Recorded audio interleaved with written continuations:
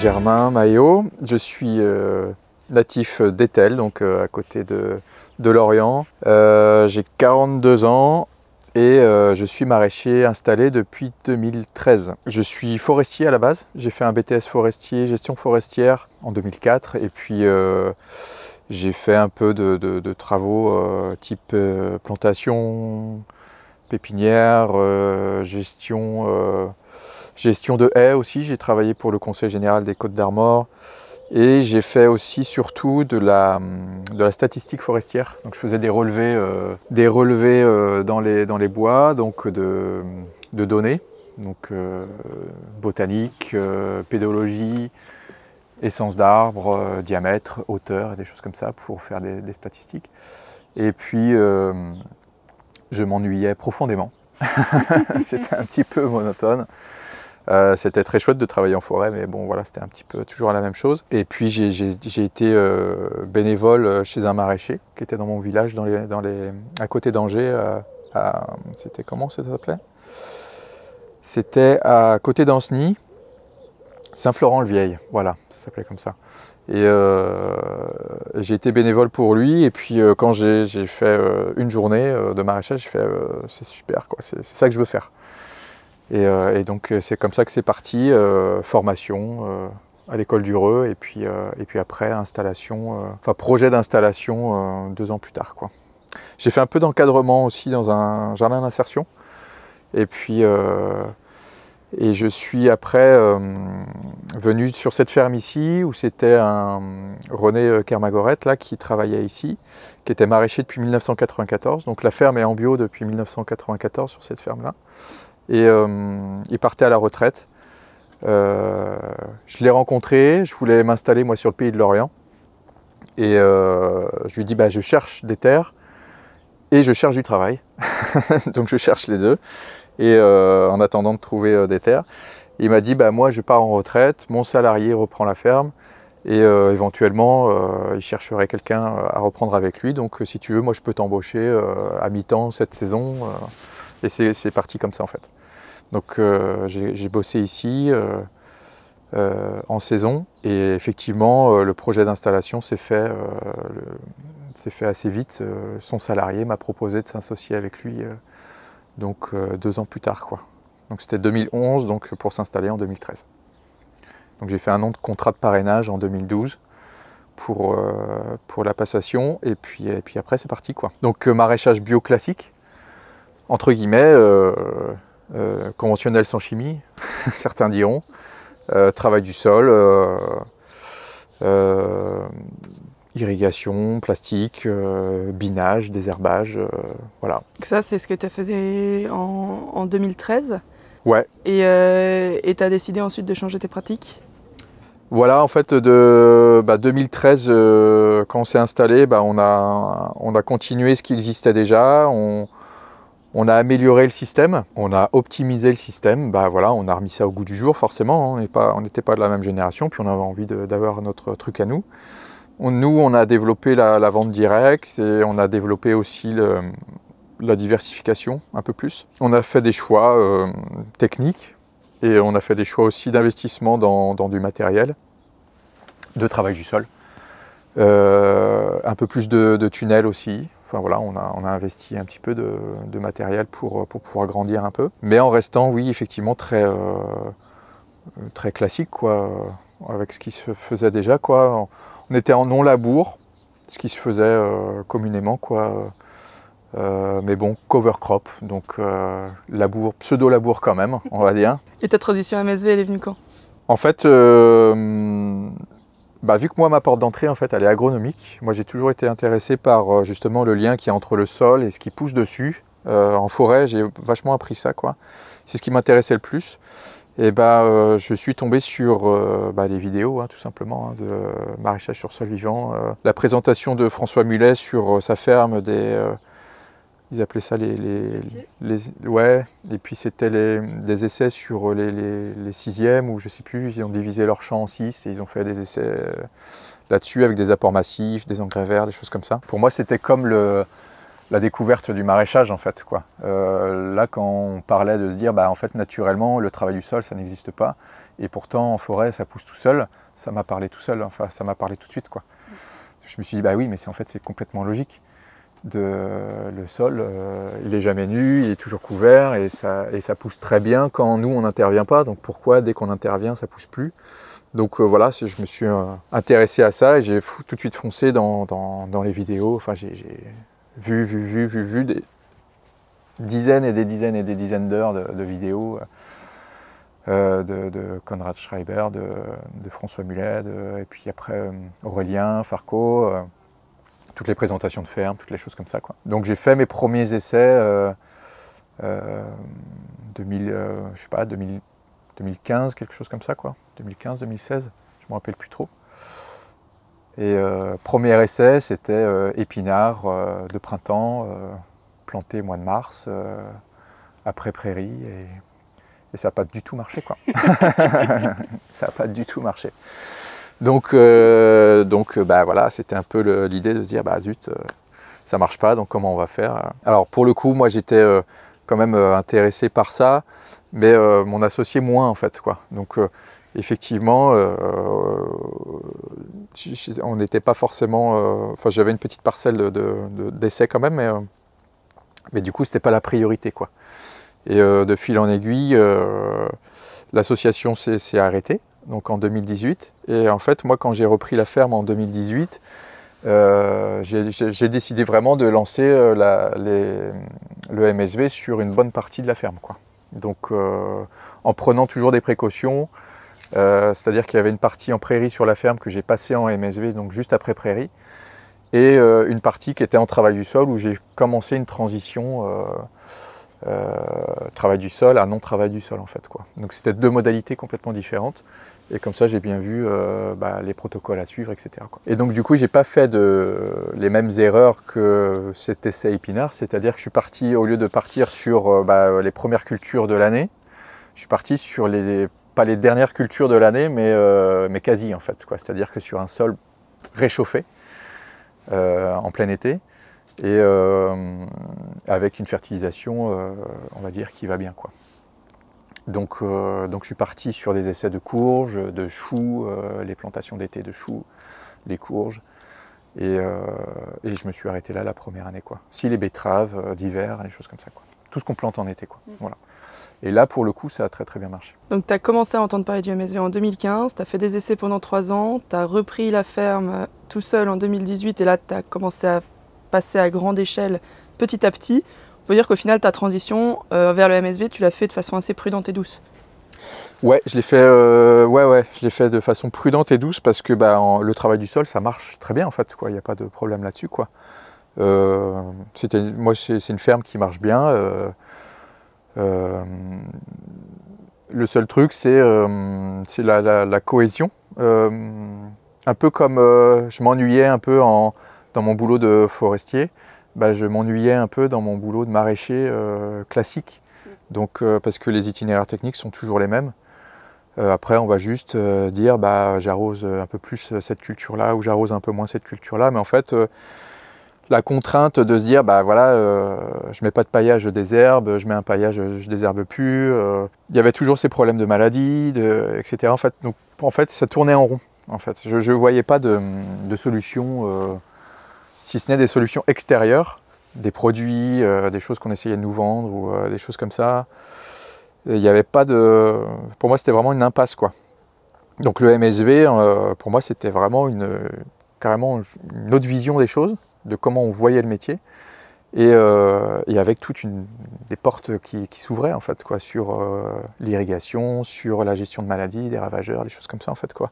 Et aujourd'hui, euh, du coup, tu as passé toute ta ferme en MSV où tu gardes certaines parties où tu vas venir travailler les sols pour réchauffer au printemps ou, Là maintenant, la, ferme est 100% MSV du coup. Ouais, je travaille plus du tout le sol. C'est et, euh, euh, maintenant, je suis passé de 2 hectares de culture à, 8000 m2 de culture.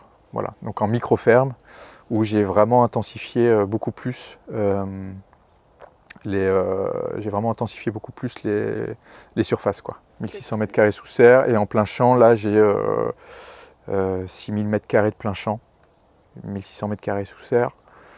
Et au démarrage, bah, c'était 2 hectares 5 de plein champ et, 1600 m2 de, de serre. Combien de salariés? En 2013, on était euh, deux, associés plus euh, un saisonnier euh, à, plein temps. De avril à. Non, pas de avril, de, juin à septembre. juin, juillet à septembre. Et, et, maintenant, je suis tout seul avec une personne à mi-temps à l'année. Voilà. Donc, en fait, cette cette transition, ce passage à la micro-ferme, euh, ça s'est fait l'année dernière, euh, donc c'est très très récent. Et l'année dernière, du coup, j'ai vraiment travaillé que tout seul avec euh, un salarié. J'ai pas pris de stagiaire ni rien du tout volontairement pour justement voir si j'étais viable économiquement, moi tout seul, et si la charge de travail était ok aussi pour moi. Donc, donc ça c'est bon, j'ai validé. Même si l'année dernière c'était un peu compliqué parce que sécheresse, canicule, donc problème d'eau, euh, problème de euh, gros ravageurs, donc euh, type sanglier, etc., qui étaient vachement présents sur la ferme. Donc c'était pas une année simple, mais bon voilà, c'est passé quand même. Donc cette année, easy quoi. Stagiaire plus, plus météo clémente et, voilà quoi. je te propose de, passer sur tout ce qui est contexte pédo de, de, ta ferme et qu'est-ce que tu as fait au moment où tu es arrivé en termes d'aggradation du sol euh, pour pouvoir passer sereinement au MSV Quand j'étais en maraîchage, euh, travail du sol, la, gestion de la fertilisation était classique, c'est-à-dire qu'on faisait apport de compost, acheté à l'extérieur. notre prédécesseur, lui, faisait son propre compost à base de prairie. La prairie que je cultive maintenant, justement. Euh, qui est passé en maraîchage. Il fauchait sa prairie, il le faisait composter, voilà, donc c'était euh, très intéressant en termes de matière, euh, mais c'était très gourmand en temps et en, et en coût aussi, parce que c'était des machines aussi qui venaient de l'extérieur qui faisaient ça, qui, mettaient en andin, qui fauchaient, qui retournaient l'andin, et voilà. Donc en termes de coût, c'était un peu, un peu énorme. Et euh, donc euh, moi, je, nous, on est passé euh, vraiment au compost, voilà, acheté à l'extérieur, compost de déchets verts classique. 30 tonnes hectares, voilà, c'était ça en fait la fertilisation, avec cette logique de légumes gourmands, moyennement gourmands et peu gourmands, donc avec des rotations. Et, on fertilisait que la partie gourmande. Donc il y avait juste une fertilisation en compost qui était faite sur un tiers des parcelles tous les ans et ça tournait comme ça. Ensuite euh, est arrivée euh, une autre façon de gérer la, fertilisation, c'est-à-dire euh, la luzerne est arrivée dans, le, dans la réflexion. J'avais fait une, formation en, justement en fertilisation sur trois jours et, et j'ai appris que bah, voilà, sur des types de sols comme le mien, c'est-à-dire moi je suis sur du sable limon, donc j'ai quasiment pas d'argile sur, sur mon sol. T'as quelle euh, teneur en argile? Moins de 10%. Et c'est de l'argile de médiocre qualité, quoi. moins de 5% même, je dirais. Ça retient quasiment pas l'eau, en fait. Et sablo-limoneux, euh, la, proportion, on est sur un, on est un peu plus euh, dominant en sable que limon. 60-40, je dirais quelque chose comme ça, quoi. Et en fait, la luzerne, enfin, la logique, c'était surtout de travailler avec des produits frais. Donc, type engrais vert, type fumier frais ou, euh, ou euh, bah voilà, de l'engrais vert exporté, c'était un petit peu ça la logique. Quoi. Et, euh, effectivement, ça, ça m'avait parlé aussi. Et donc, du coup, on avait commencé à faire des essais donc, sur une petite parcelle, 3000 m2 de, de prairie qu'on a transformée en luzernière. J'ai acheté un tarup, un épandeur, et puis bah, voilà, on a fauché la luzernière, et puis on épandait au champ la luzerne fraîche qu'on mélangeait au sol. Et puis après, on cultivait euh, dessus, quoi. Et ça marchait euh, extrêmement bien. Euh, ça marchait aussi bien, voire mieux que, que le compost, en fait, quoi. Euh, bah, c'est pas le même produit, mais du coup, sur la culture en elle-même, ça marchait très bien. Et on voyait aussi des bons résultats sur les reliquats, sur les cultures suivantes, en fait, quoi. Quand on faisait nos, rotations. Donc, donc, on est parti là-dessus. Et, et en fait, cette idée-là, ce fil rouge de la luzerne, je l'ai gardé et euh, jusqu'à faire du MSV où en fait euh, l'idée c'était d'être autonome aussi en matière euh, en paille et donc en fertilisation. Donc j'ai agrandi ma luzernière qui fait maintenant un peu moins d'un hectare. Et, et je la fauche et maintenant, au lieu de l'enfouir, je la laisse poser sur le sol. Quoi. la luzerne, elle est enrubanée, donc elle est, elle est conservée en verte et, elle, a, il a subi déjà une transformation en fait, anaérobie. Ce qui fait que quand je la mets sur les champs, elle est encore humide, mais très très riche en bactéries et en champignons en fait. Quoi. Donc il y a déjà une, euh, tout de suite un, flash, quoi, une espèce d'explosion en micro-organismes euh, qui est euh, très bénéfique en fait pour les cultures. J'ai fait pas mal de comparatifs entre foin et luzerne, vu que j'avais les deux, et la différence est notable, quoi. vraiment notable.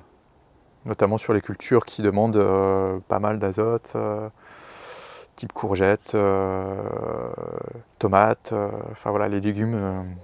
C'est toi qui l'as fait, la luzerne à l'enrubanage Tu fais appel à quelqu'un? Je fais appel à une ETA pour faire ça, ouais. ouais, ouais. Et économiquement, tu t'y retrouves? Ça revient à peu près à, ça revient à 30 euros le, le roundballer. Voilà. Ce qui est le prix que j'accepte de, de, payer pour, pour cette qualité-là. Ouais. Après, il y a des avantages et des inconvénients par rapport au foin. L'enrubanage, euh, il faut être euh, équipé un peu. Hein. Je ne suis pas équipé moi pour, euh, pour le transporter et le mettre devant les parcelles parce que l'enrubanage c'est très lourd. ouais, il faut avoir un. Voilà. Mais même avec ça, mon tracteur est pas assez puissant pour, pour le soulever. Ça pèse entre 700 et 800 kg. Mon tracteur, il peut, il peut soulever 500 kg. autant les roundballers de foin, je peux les bouger à la main les mettre dans une benne et puis les transporter euh, aux parcelles. Donc là, c'est très rapide à épandre. Autant la luzerne, c'est euh, quelque chose qui est assez euh, contraignant dans le sens où bah, c'est très lourd, donc je, la dépiote sur place, je remplis une benne et je fais des allers-retours. donc c'est très long.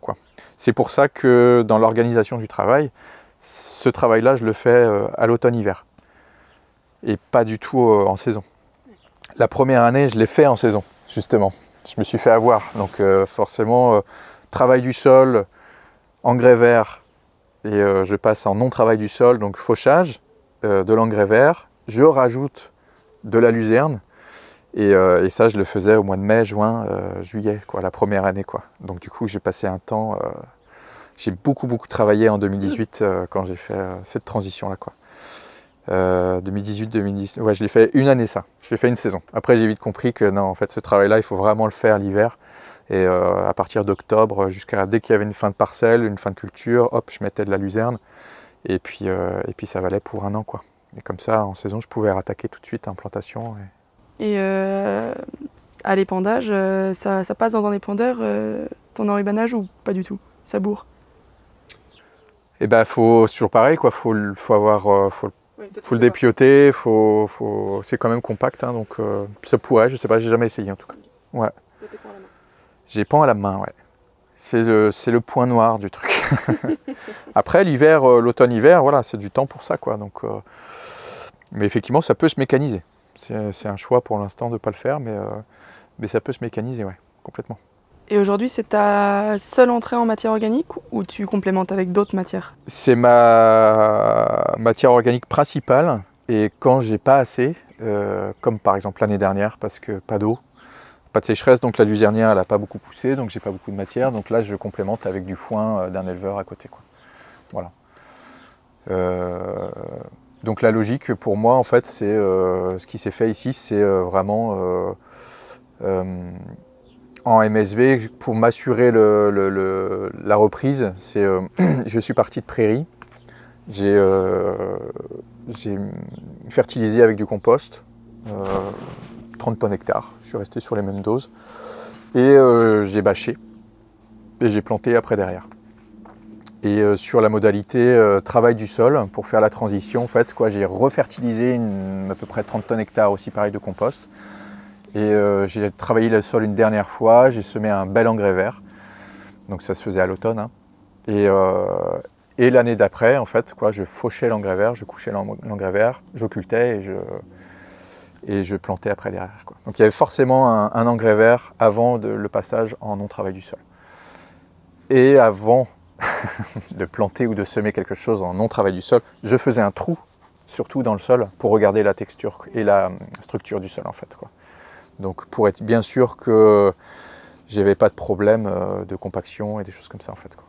Donc une fois que tous ces voyants-là étaient validés, eh ben, j'ai pu, pu, commencer à, planter. Ok, donc stratégie 30 euh, tonnes de compost. Ouais. Euh, pour voir un peu d'un point de vue réplicabilité, est-ce que tu sais nous dire un petit peu euh, quel taux de matière organique tu avais dans tes sols au moment où tu as décidé de passer en MSV et d'utiliser cette stratégie? Et à quel taux tu es arrivé aujourd'hui? Est-ce que ça a évolué? Ça n'a pas trop évolué, non. Mon taux de matière organique, en moyenne, il est sur, entre 4 et 5 sur, sur les sols ici, en plein champ on, est plutôt entre 5 et 6 sous serre. Euh, et ça n'a pas trop évolué, non. Donc assez riche quand même. Ouais, bah, c'est une vieille ferme maraîchère. donc effectivement, il y a un bel héritage. Euh, les sols ici sont principalement euh, donc très profonds. Peu de cailloux. sur les sols en maraîchage, en fait, qui sont historiquement en maraîchage, la, roche-mère, en fait, elle n'est pas visible. Euh, moi, dans mon historique de pédologue, euh, on disait que bah, quand on ne trouve pas la roche-mère, la roche-mère, c'était le, limon, en fait. C'était ce qu'on trouvait en texture au fond du trou. Quoi.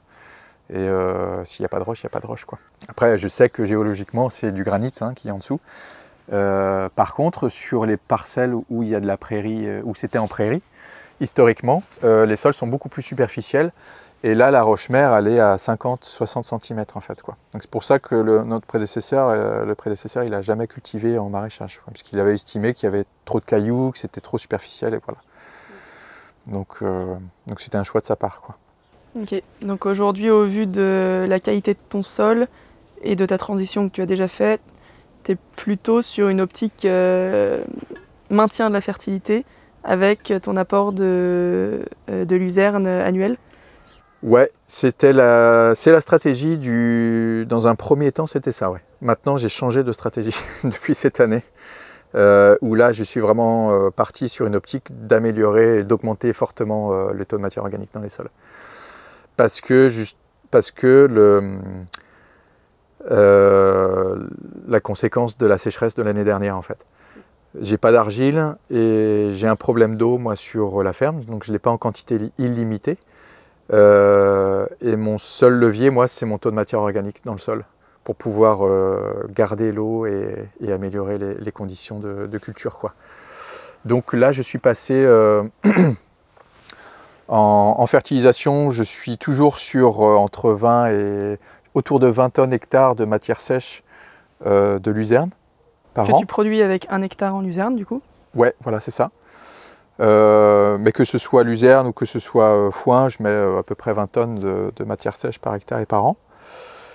mais depuis cette année, je suis passé, en plus, je rajoute 60 tonnes de, compost sur les parcelles. Voilà. Pour, le compost, ça a vraiment le rôle d'augmenter mon taux de matière organique. La luzerne et le foin ont le rôle de couvrir le sol et de nourrir la, vie du sol, en fait. Quoi. Euh, ça c'est perso, mais je pars du principe que le compost n'est pas une matière qui est euh, euh, naturelle. C'est toujours un produit transformé et, qui n'est pas optimal pour la physiologie de la vie du sol en fait. Quoi. Et du coup, ce qui existe naturellement, bah, c'est les feuilles mortes, c'est le foin. Donc je garde toujours cette base quand même de foin et de, paillage quoi, organique. Et, le compost, c'est vraiment le, plus pour. c'est quelque chose de physique, on va dire. Quoi. C'est vraiment pour la physique du sol et augmenter le taux de matière organique pour vraiment faire la rétention en eau. Mais est-ce que tu peux parler de ce compost Dire euh, de c'est quoi C'est du compost de broyade déchets verts euh, Il vient d'où euh, Tu l'as à combien C'est du compost de broyade déchets verts. Il vient de, du centre Bretagne et je le touche maintenant à 20 euros la tonne, livré. Voilà. Ce qui a vachement augmenté là cette année là, c'était à 12 euros la tonne avant il y a deux ans, je crois. Parce que j'en avais pas acheté depuis euh, un petit bout de temps. Là, j'en ai, acheté à nouveau cette année, et du coup, là, c'est passé à 20, 20 ou 22 peut-être même. Tu as une idée de son rapport carbone-azote ou il n'y a pas d'analyse fournie en même temps? Si, si, il y a une analyse. Euh, Je crois qu'on est autour de, 15. Ouais, en, en carbone azote, on est autour de 15.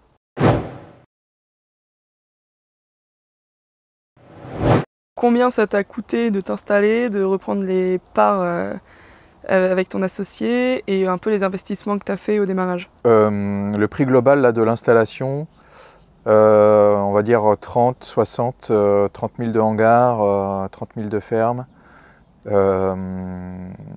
cover crop 3, 5, 65, allez on va dire 60 15 000 euros. 75 000 euros. 15 000 euros de matériel Ouais. 75 000 euros tout compris, du matériel 15 000 euros. Euh, et, puis, euh, et puis voilà. Donc nous on était deux associés, donc on avait deux DJA, donc 20 euh, 000 euros chacun. ça te fait rire? 20 000 euros chacun? vous êtes vraiment, vous êtes vraiment installé pour pour rien quoi. Peanuts. Euh, par contre, les terres, je ne suis pas propriétaire quoi. Je suis locataire. Je suis locataire des terres, c'est toujours l'ancien euh, maraîcher qui est propriétaire. Euh, donc voilà. Après, c'est pas un but en soi pour nous, enfin pour moi d'être propriétaire. C'est pas une charge trop lourde, ça se gère bien. 700 euros par an. Voilà. Ça coûte pour 4 hectares. Effectivement, je n'ai pas dit euh, les surfaces, je crois. Euh, la surface totale, c'est 4 hectares de SAU. Euh, j'ai historiquement 2 hectares, 5 en maraîchage en 2013. et le reste, c'est prairies, vergers, prairies vergers. depuis 2018, Maraîchage, on est sur 2 hectares, 8000 m2 euh, de luzerne et 1 euh, hectare de, de verger. Voilà. Et depuis l'année dernière, donc en maraîchage, donc c'est 8000 m2 de maraîchage, 1 hectare de prairie, 1 hectare, euh, un peu moins d'un hectare de luzerne et 1 hectare de verger, voilà, de tout venant on va dire. Quoi. Il y, a, quelques fruitiers et il y a un essai de, de vigne aussi. Et euh, au niveau de l'irrigation, tu avais déjà tout qui était prêt. Euh, tu n'as rien dû euh, rajouter Non, j'ai rien rajouté.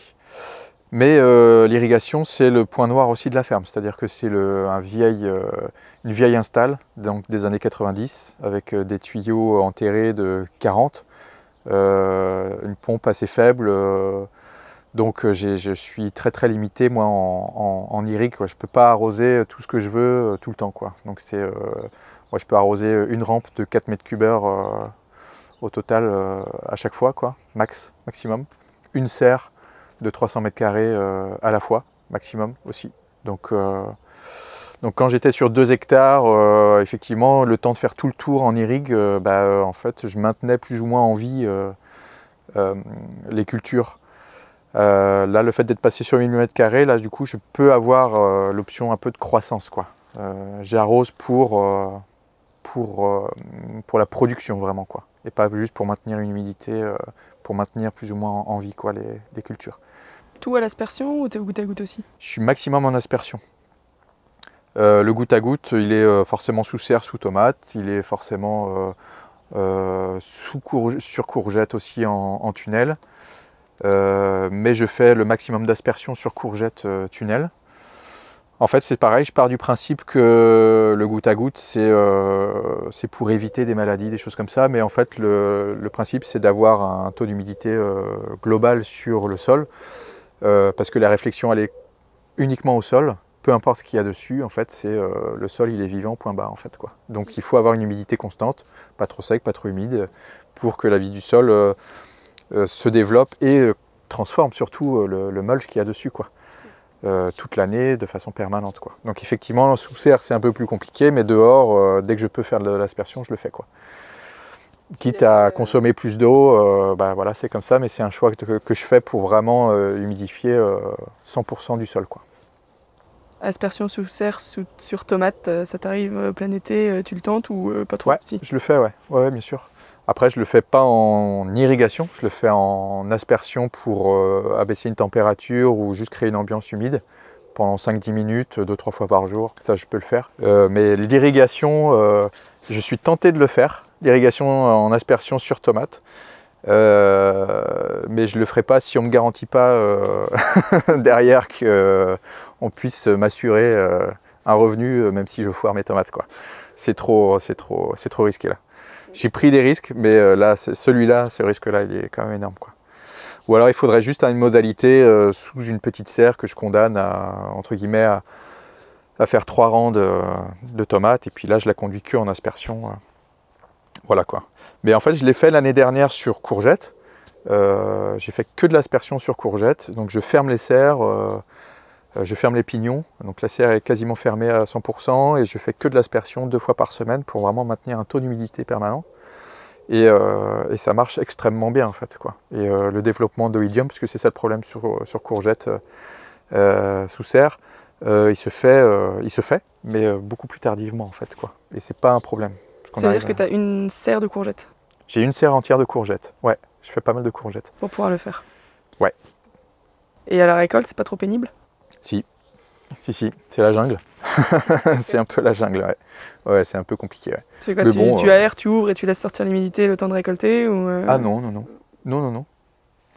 Non, non, non, c'est, non, non, c'est, pénible dans le sens où, euh, enfin voilà, tout, y a plus, on voit plus les allées, on voit plus rien en fait, quoi. Donc c'est vraiment très compliqué de déambuler dans les, dans les courgettes et fouiller les, parce qu'il y a des feuilles partout, quoi.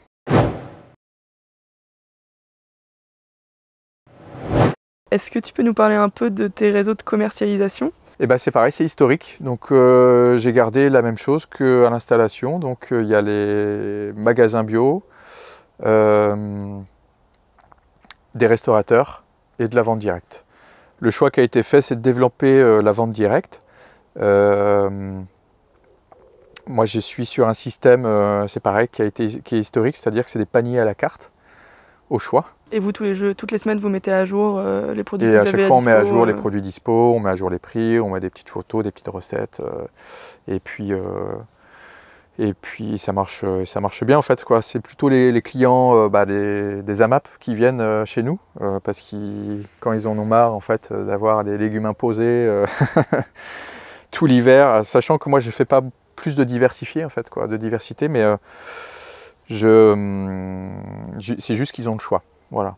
Et puis quand on a des amis le week-end euh, et qu'on veut commander plus, ou quand on part en vacances et qu'on ne veut pas commander, bah voilà. Donc il n'y a pas d'abonnement, euh, c'est libre quoi. Donc ça c'est un système qui est intéressant. En moyenne, tu as combien de paniers semaine, euh, peut-être entre l'été et l'hiver? Entre 20 et 30 paniers. Il y a un pic, il y a eu un pic où j'ai eu entre 40, bah forcément avec le Covid, il y a eu un pic, là c'était énorme. Euh, où j'ai eu plus de 50 paniers, euh, plus de 50 paniers là pendant presque un an. Euh. Donc là, c'était difficilement gérable. Le panier à la carte, il marche bien quand on n'excède pas les 35-40 paniers max quoi, par semaine, quoi, par, jour de vente. Par jour de vente. Après, ça devient long de dispatcher chaque, chaque commande dans les, dans les paniers. Quoi. Et euh, j'ai fait un ratio justement entre bah, voilà, euh, le demi-gros et euh, la vente directe à la carte, où c'est pas du systématique. Et effectivement, là, ouais, 40-50 paniers, ça devient plus rentable. On passe trop de temps justement à dispatcher les paniers. Tu as en tête le prix moyen d'un panier? 14 euros. Ouais, en moyenne. Donc il y a des beaux paniers à 30, 40 euros. Il y a des gens qui mangent vraiment du légume et, et ça c'est chouette quoi. Famille nombreuse, consomme du légume. Donc euh, il y a des... un panier, c'est ouais, ça peut être une trentaine d'euros. Et puis il y en a qui viennent juste pour euh, voilà, 5, 6, 7 euros.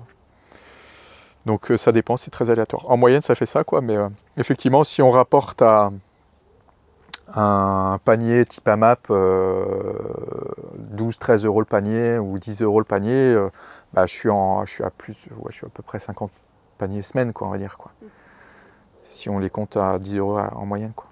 T'arriverais à dire à peu près euh, quelle part euh, Ouais, c'est 50% euh, magasin bio et 25% restaurant, 25% vente directe. D'accord. Voilà. Il y a combien de restaurants? 5-6. Et ça en gestion, c'est gérable? Petit restaurant Oui, en fait, c'est plutôt gérable parce que. Alors maintenant, je, suis exigeant en fait avec les clients. C'est eux qui s'adaptent à moi et c'est pas moi qui m'adapte à eux. C'est-à-dire que euh, j'ai deux jours de récolte par semaine, le lundi et jeudi.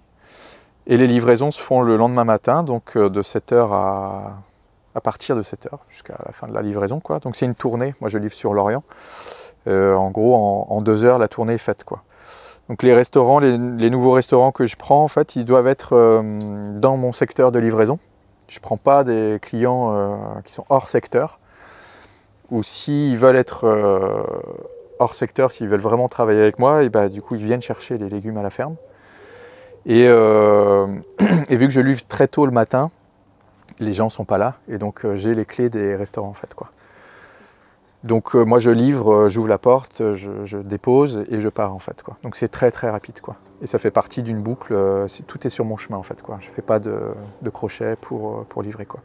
Et maintenant j'exige aussi un, un chiffre d'affaires par semaine hebdomadaire minimum aussi, pour que je puisse travailler avec, qui est de 100 euros. Par resto Par restaurant. Ouais, 100 euros minimum par semaine pour pouvoir, euh, pour que ce soit rentable pour moi euh, de me déplacer, de livrer. Euh.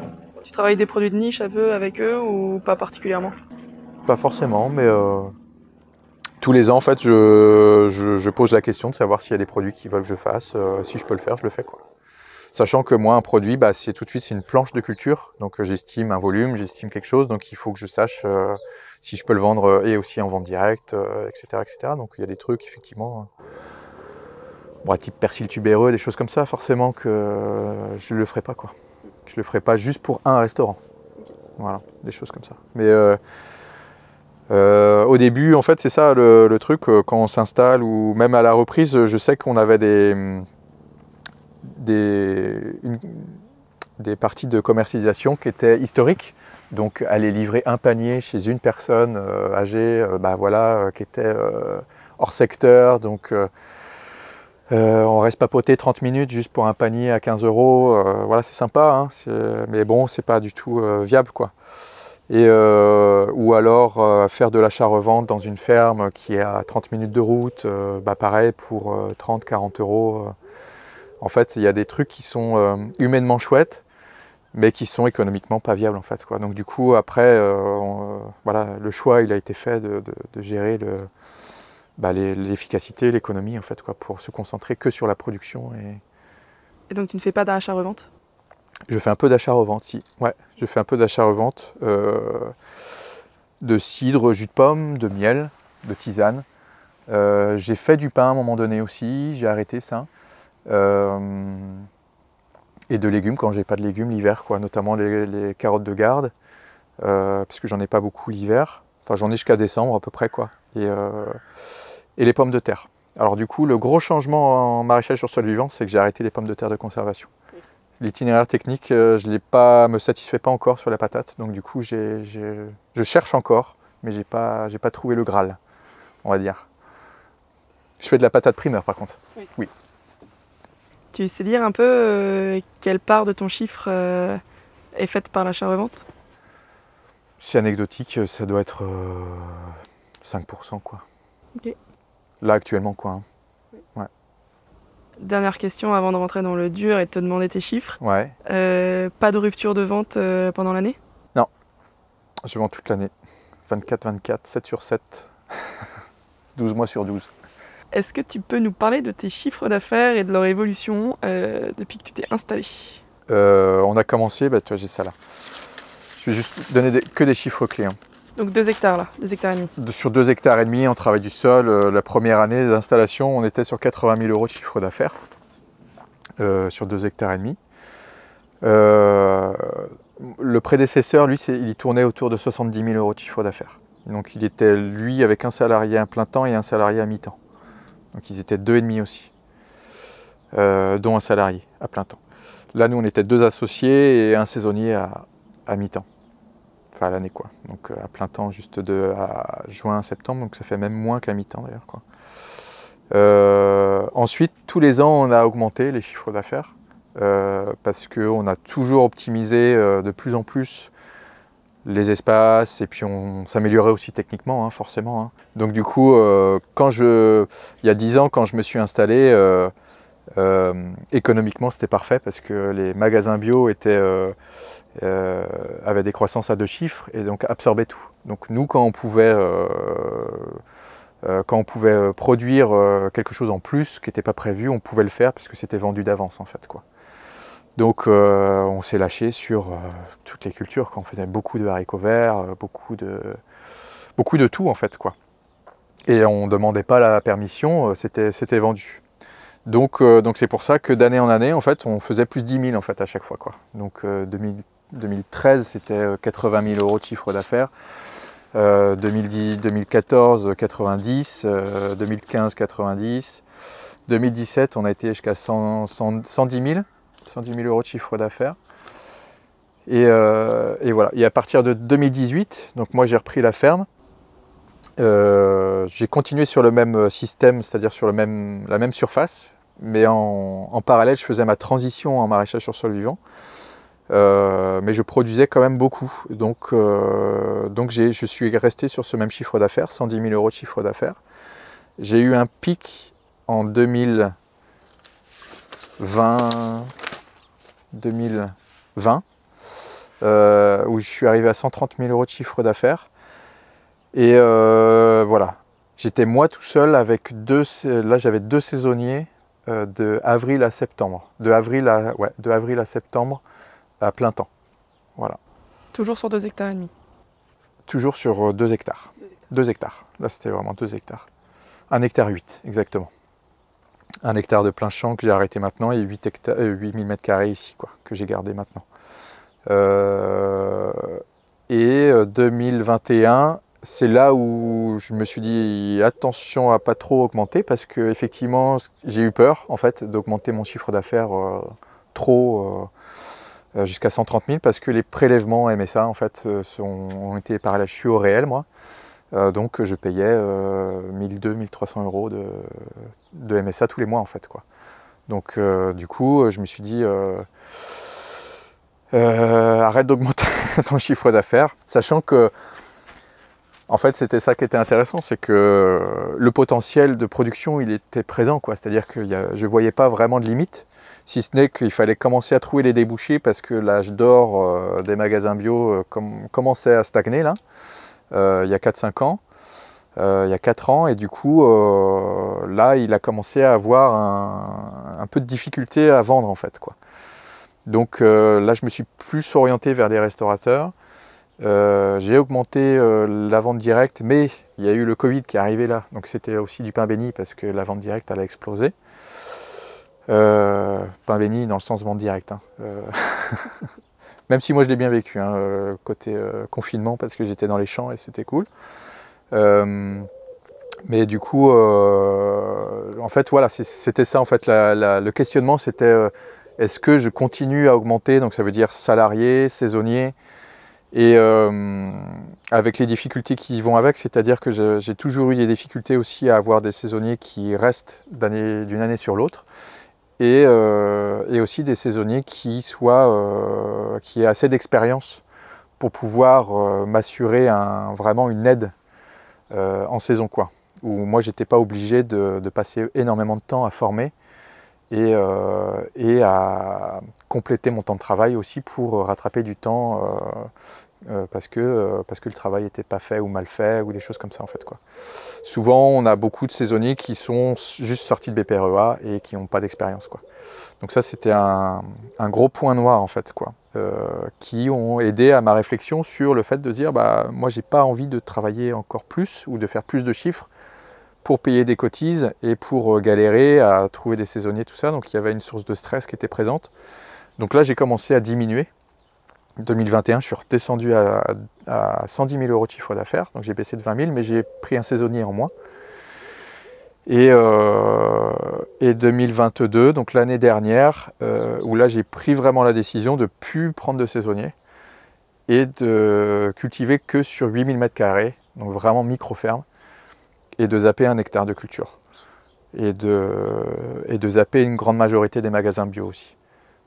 Et de me concentrer plus sur euh, vente directe restaurant et de garder deux magasins pour passer un peu de volume.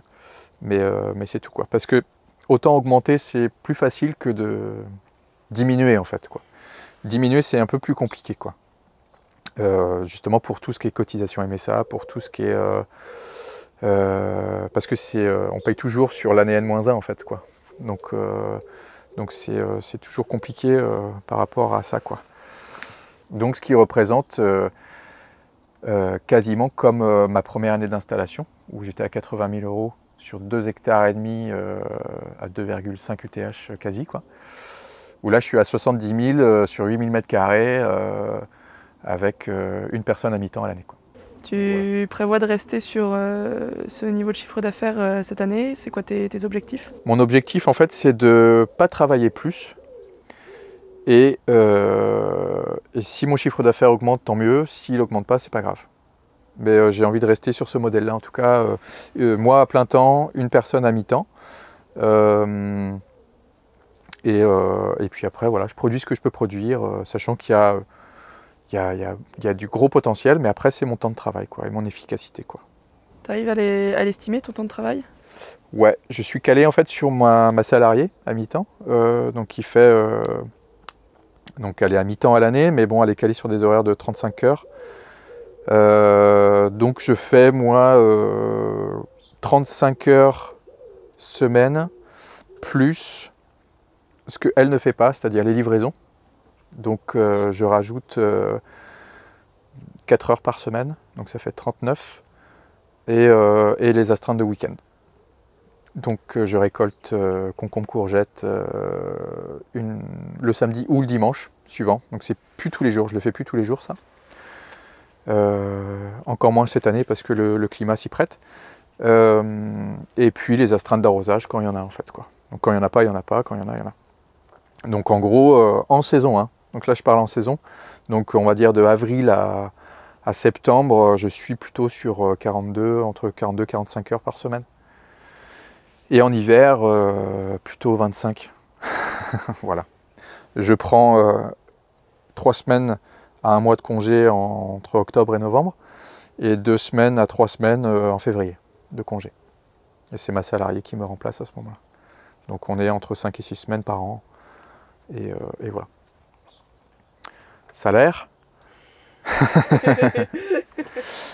Euh, je me prélève systématiquement 1300 euros par mois. Euh, et en fait, euh, et à la fin de saison, suivant ce que j'ai en plus de mon besoin en trésorerie pour entamer la saison d'après, je me prends le reste. Quoi. Donc ça peut, donc c'est aléatoire suivant les années, mais ça, ça peut aller de pas trop. Euh, ça, je, ça, je le compte pas vraiment en fait, quoi, mais euh, on va dire que je me prélève euh, mensuellement, ça, ça, correspond à un, salaire de 1800 euros par mois, quelque chose comme ça en moyenne, quoi. Ça peut, c'est à peu près ça. Oui, du coup, je veux savoir pour le salaire de ta salariée. le salaire de ma salariée, il est de 650 euros par mois, brut. Pour un mi-temps, du coup pour un mi-temps, 17h05, 17h05 euh, par semaine. Ouais. Annualisé, ces horaires. Donc là, travaille 9 heures par jour, là en pleine saison, et puis 6-7 euh, heures euh, l'hiver. quoi. Du coup, dans tes charges, il y a ton salaire, il y a le loyer des parcelles. Le loyer, c'est 750 euros par, par an pour les 4 hectares. L'eau, tu la payes L'eau, je la paye pas. J'ai euh, encore des emprunts parce que j'ai racheté un camion, j'ai acheté un broyeur euh, il n'y a pas longtemps. C'est vrai que je ne l'ai pas dit tout à l'heure dans le matériel, il y avait un broyeur tout neuf. Euh, et voilà, en fait, j'ai 350 euros d'annuité, enfin de remboursement mensuel. sachant que même à l'installation, les, remboursements n'étaient pas plus que ça n'a jamais excédé 600 euh, euros par mois. Voilà. La ferme a été payée, enfin tout a été payé en 7 ans. donc là, la ferme elle est payée. Donc là, je rembourse juste euh, voilà, le matos que je renouvelle de temps en temps. Quoi.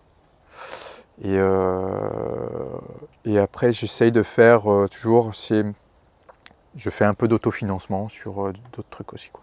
Voilà. Donc du matériel, des fois que j'estime plus intéressant de faire en autofinancement, je peux le faire aussi. Quoi. Notamment des panneaux solaires que j'ai que j'ai mis cette année. Voilà, je les fais en autofinancement. Tout ce qui est achat plants, semences, tout ça, euh, tu fais pas tes plants toi-même? Alors je fais euh, pas mes plants, je dois en faire 5, euh, 5 à 10%. Quoi. Euh, je dois avoir à peu près 10 000 euros de charge sur les plants. Maintenant que je suis en micro-ferme, euh, euh, ça a baissé un peu. Je suis plutôt entre euh, sur 7000 euros là. Je suis plutôt sur 7000 euros. Et le gros poste, en fait, ouais, c'est celui-là surtout. Hein. C'est vraiment celui-là. Hein. Tu peux expliquer pourquoi tu as choisi de ne pas faire tes plans? Ouais, carrément. Je peux l'expliquer. C'est en fait c'est la preuve par l'exemple. C'est-à-dire que le mon prédécesseur, donc euh, René, lui faisait tous ses plans. Et ça m'a pas du tout donné envie en fait. Quoi. Rien n'était ergonomique. Euh, il y avait des déplacements de caisse. Euh, je sais pas combien de fois. On avait calculé une fois, c'était, on avait déplacé une caisse plus de dix fois avant qu'elle aille en champ pour être plantée. Quoi. Parce qu'il n'y avait pas la place. On n'avait pas la même taille non plus. Donc en fait, tout n'était pas à niveau. Donc on se cassait le dos. Euh, le matériel n'était pas du tout adéquat, donc du coup, euh, il y avait des problèmes de limaces, il y a des problèmes de levée dans les caisses. C'était tellement aléatoire que le choix c'était, euh, bah non, pas de plan, en tout cas dans un premier temps. On, va on va tout acheter.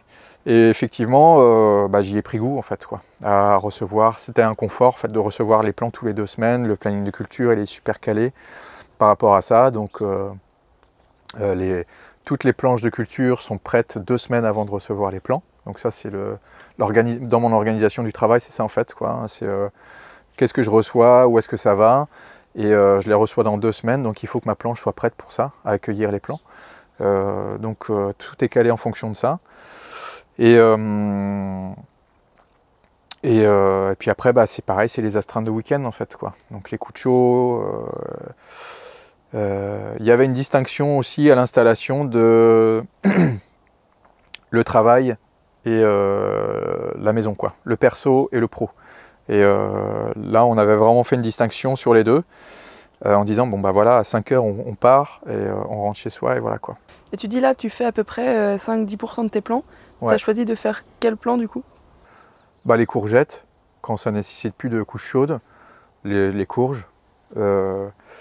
J'ai fait, je fais euh, quelques choux aussi, puisque je fais mes semences d'une variété qui s'appelle le chou de l'Orient, c'est le chou du coin ici.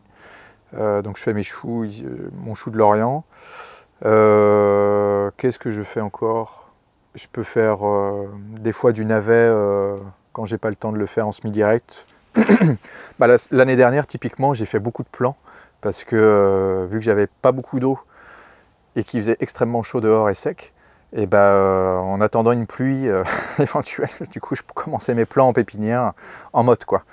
Donc, euh, vu que je suis principalement en aspersion en plus, mais bon, sur des semis de navet, il n'y a pas trop de choix.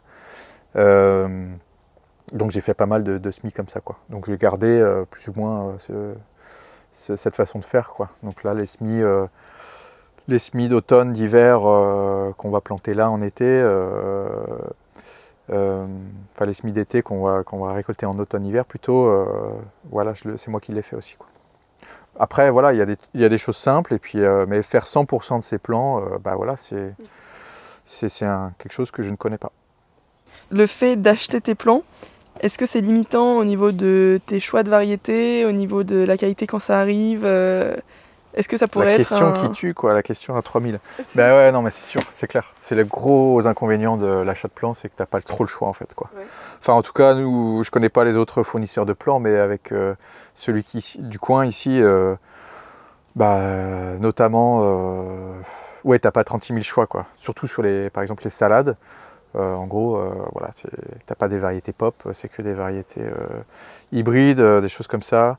Le gros, gros point noir, c'est sur les variétés de choux où il y a des traitements systématiques en, en spinosade, success. Et ça, pour le coup, moi j'ai fait un point, un d'orgue sur le fait de ne pas l'utiliser ce produit-là. Et, là, je le reçois, je reçois des plans avec traitement, traitement success. Quoi. Donc ça, ça, m'emmerde profondément. Quoi. Ouais. Mais bah, c'est ce qui me pousse justement à, pouvoir un jour faire mes plans. C'est clair que c'est le, top du top. Après, c'est juste le compromis entre temps de travail, euh, savoir-faire aussi, puisque je ne l'ai pas, ce truc-là. Donc euh, je, le fais au fur et à mesure sur des, des, choses, des choses simples, mais euh, après gestion de couches chaudes, maladie pépinière, des choses comme ça. Enfin voilà, l'attention qu'on peut mettre aussi sur la gestion d'une pépinière, c'est vraiment un, un, métier à part quand même. Quoi. Et euh, tu parlais de hybride de population. C'est quoi tes, critères de choix euh, autres que ceux que t'impose la pépinière du coup euh, pour, pour les plantes en général? C'est majoritairement variété population que je choisis moi. après il y a des incontournables en hybride, notamment sur les légumes d'été. Donc je fais des compromis aussi, c'est pareil. Hein. Donc il y, y, a des tomates hybrides et des tomates anciennes. Aubergines, poivrons aubergines, poivrons, euh, et tous les ans, je fais des essais sur des variétés. Voilà, pour comparer, pour voir. Donc tous les ans, euh, forcément, la variété hybride euh, domine.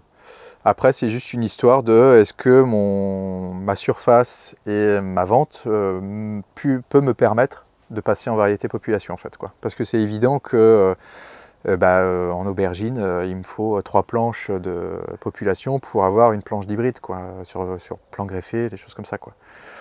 Donc, est-ce que je le fais ou pas? Parce qu'il n'y aura jamais une production équivalente, c'est sûr et certain. Quoi. En tout cas, pour l'instant, ma recherche, j'ai pas, pas trouvé équivalent. Donc, donc voilà. Après, il y a d'autres variétés où c'est exactement pareil. Et puis, et c'est même euh, plutôt mieux quoi, sur des carottes, sur euh, bah, les navets, les betteraves, euh, plein de choses comme ça. Ouais. et sur la question des plants greffés, même réflexion? Ouais, exactement, ouais. Ouais, ouais carrément, ouais. Ouais, bah, c'est toujours pareil, plan greffé, il n'y a que les aubergines que je fais en plan greffé. là, cette année, bah, j'ai fait la moitié, j'ai fait une demi-planche de, de plan greffé, une demi-planche de, de plan pop. bah, on verra le résultat. ça n'a strictement rien à voir. On va passer voir. Euh, donc en fait, euh, bah, l'idée c'est de travailler, bah, je sais qu'en maraîchage sur sol vivant, euh, le, la recherche sur les semences, voilà, c'est pareil, c'est une porte ouverte. Donc la sélection justement sur l'adaptation des plants sur ce type d'itinéraire technique sans travail du sol, elle est juste énorme. Quoi. Donc c'est évident qu'un jour, pour moi, euh, ça me paraît clair qu'il y aura une production énorme en, plan population sur euh, non-travail du sol, avec des taux de matière organique de sol qui vont euh, friser les 15%, 20%. ça, ça c'est sûr et certain. Quoi. Moi, c'est ce que j'essaye de, viser en tout cas. C'est taux de matière organique des sols sans limite, et des sols hyper vivants, et puis des trucs qui crachent dessus. quoi. C'est voilà, l'abondance. quoi. C'est juste ça, objectif, objectif abondance.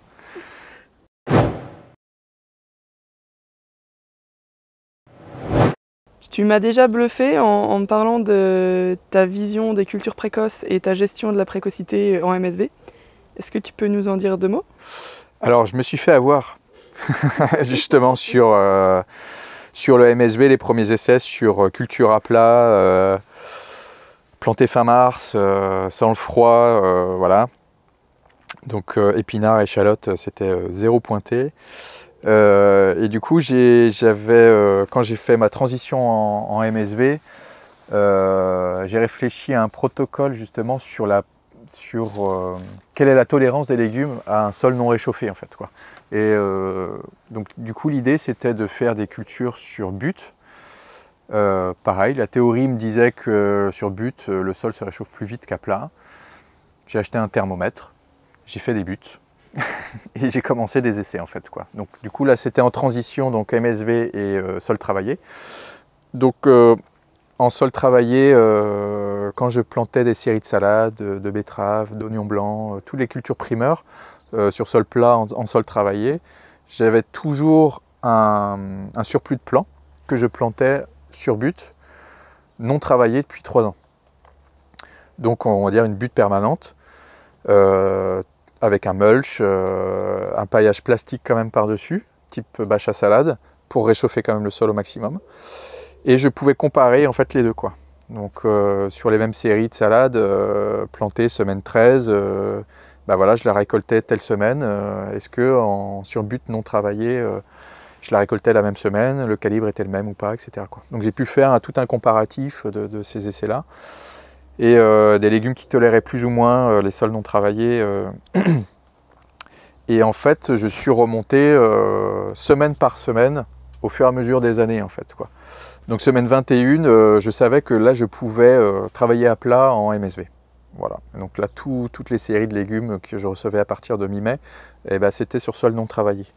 Donc dans mon, dans mon parcellaire, j'ai commencé à faire ma, donc mon dernier travail du sol, mon super engrais vert, et après euh, et à planter sur, cette, euh, sur, ce, sur ce, cet engrais vert euh, des, des plants en, MSV en première année.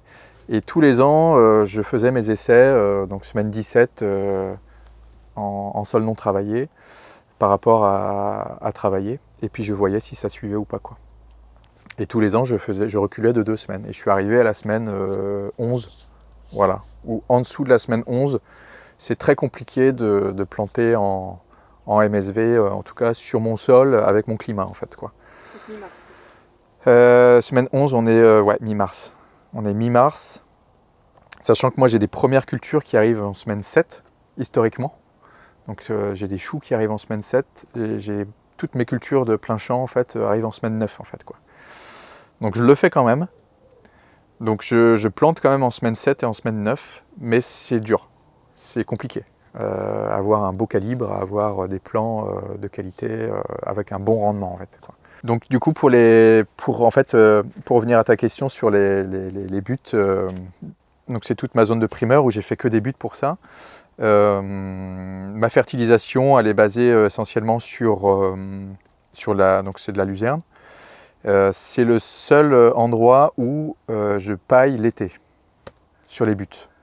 Parce que si je faisais comme le reste de mes parcelles où je paillais l'hiver, j'aurais trop d'épaisseur de paille en mois de mars et ça serait encore trop isolant en fait. Donc là, je paille l'été. Comme ça, au mois de mars, quand je mets mes premières cultures en place, en fait, j'ai quasiment plus de paille. Ça a déjà été digéré, donc ça se réchauffe beaucoup plus vite en fait. Et je peux aussi faire mes semis directs de carottes par exemple euh, avec une faible épaisseur de paille, avec un, avec un semoir à, disque. Donc voilà. C'est pour ça que c'est la stratégie primaire, en fait, elle est différente de toutes les autres stratégies par rapport à ça. Et du coup, l'autre stratégie, c'est euh, aussi de remettre du compost. Euh, parce que l'idée pour réchauffer un sol, c'est que le sol soit aussi noir.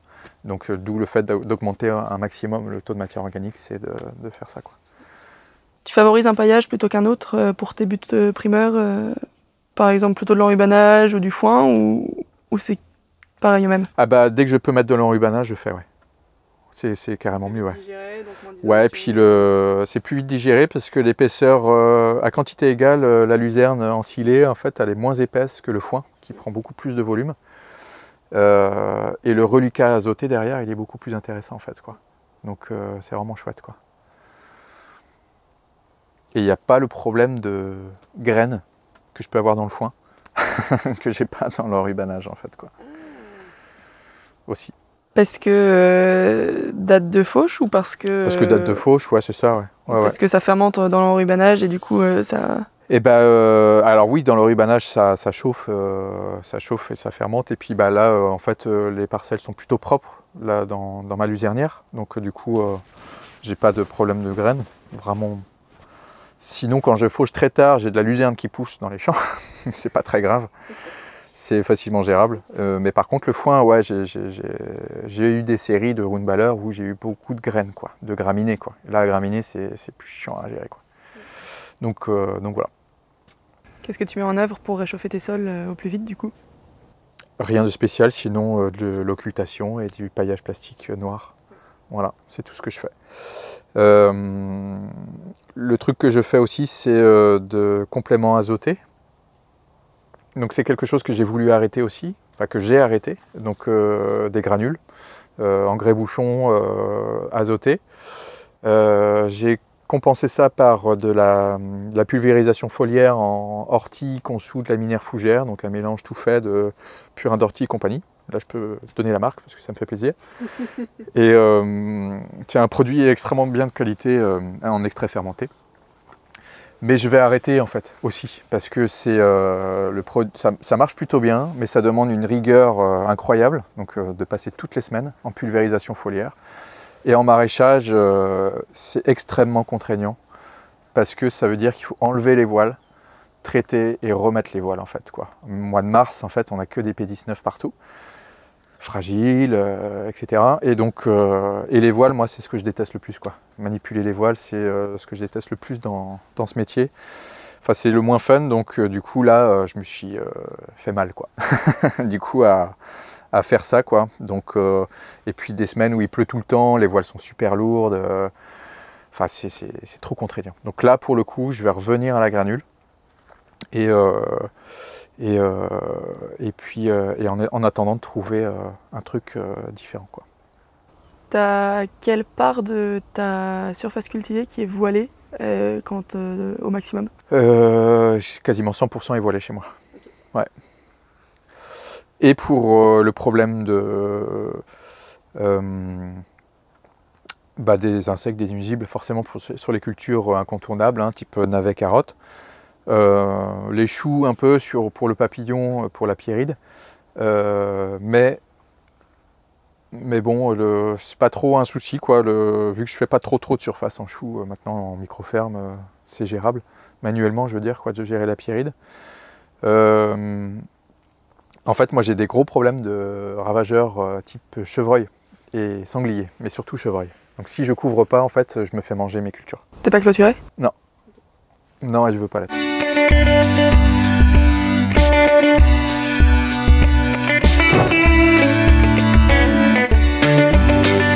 Euh, du coup là on est face à ton point d'eau, euh, t'en as vaguement parlé tout, enfin t'en as déjà parlé tout à l'heure. Est-ce que tu peux nous dire euh, t'as quel débit au forage, comment tu gères avec tes bassins? Est-ce que tu sèche en été? Comment ça se passe? J'ai un forage à 80 mètres de profondeur, donc historique, hein, c'est pareil, c'était à l'achat de la ferme. Euh, c'est de l'eau euh, qui est logiquement euh, non salée.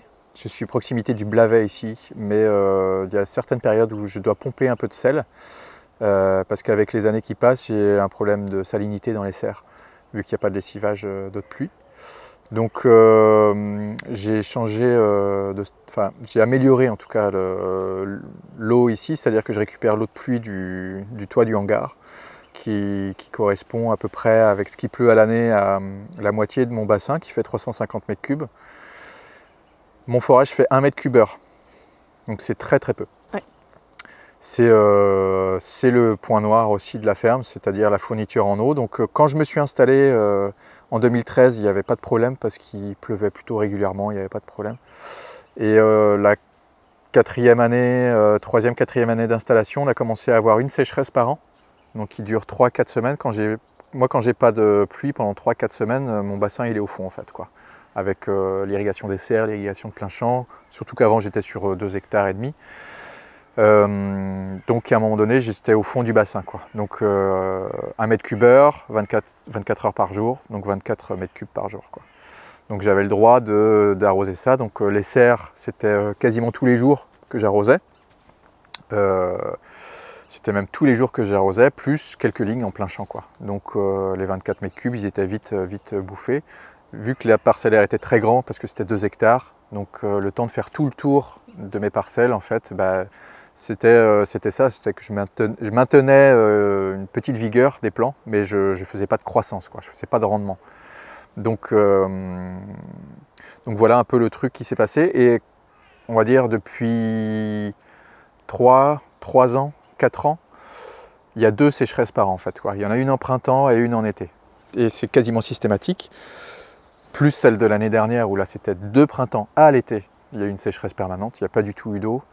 Donc, euh, là c'était très très dur. Euh, donc moi j'ai fait un deuxième bassin de rétention il y a trois ans de ça, euh, de la même capacité, 350 mètres cubes, qui est mon, bassin de secours. Donc où je récupère l'eau de pluie de l'hiver le surplus d'hiver, en fait, quoi, je le bascule dans ce bassin-là. Et puis quand mon bassin principal ici est vide, eh ben, je, pompe dans l'autre bassin pour le basculer ici. Quoi. Et donc 350 mètres cubes, euh, 3 semaines d'autonomie. Ouais, voilà, c'est à peu près ça. Ouais. Ouais. Si je veux arroser comme je veux. C'est-à-dire qu'avant, j'étais aussi. Euh, euh, enfin, je faisais beaucoup d'engrais verts, des choses comme ça. Et du coup, les engrais verts, on s'en occupe comme des cultures. Donc, euh, j'arrosais aussi les engrais verts par aspersion. Enfin, voilà, des choses comme ça, quoi. De façon optimale. Après, forcément, quand on est limité en eau et qu'on voit qu'il ne va pas pleuvoir, bah, c'est tout de suite les premiers trucs qui, qui, qui squeeze. Donc, donc après, bah, c'est que des histoires de priorité. Quoi. Donc euh, semis, plantation, et puis après tous les trucs en place, et eh ben, on vient euh, faire un petit peu d'aspersion de temps en temps. Tu as une idée de ta consommation d'eau annuelle? Ouais, je dois, avoir, euh, je dois être à peu près entre 2500 et 3000 m3 par an pour 8000 m2. Dont 1006 sous serre Ouais. Top. Ouais. Donc là, la stratégie, c'est récupérer un maximum d'eau de pluie, donc des hangars, euh, et le passage en MSV a fait aussi euh, la différence en termes d'économie d'eau. quoi. Tu le vois? Je le vois, ouais. Je le vois. Même si je suis sur un seul sableau, sableau limoneux, il y a quand même un, il y a quand même une filtration qui se fait, quoi, mais euh, j'arrose moins qu'avant. Tu arrives à le quantifier? Je pense que je suis pas loin des entre 30 et 50% d'économie d'eau quand même à la culture, à la culture. Sachant que vu qu'avant je faisais pas de croissance et que je maintenais en vie, là je fais de la croissance quoi. Donc j'utilise plus d'eau qu'avant, quand même par culture, mais j'arrose moins en fréquence. Donc, euh, mais en termes de quantité d'eau, c'est sûr que j'arrose moins.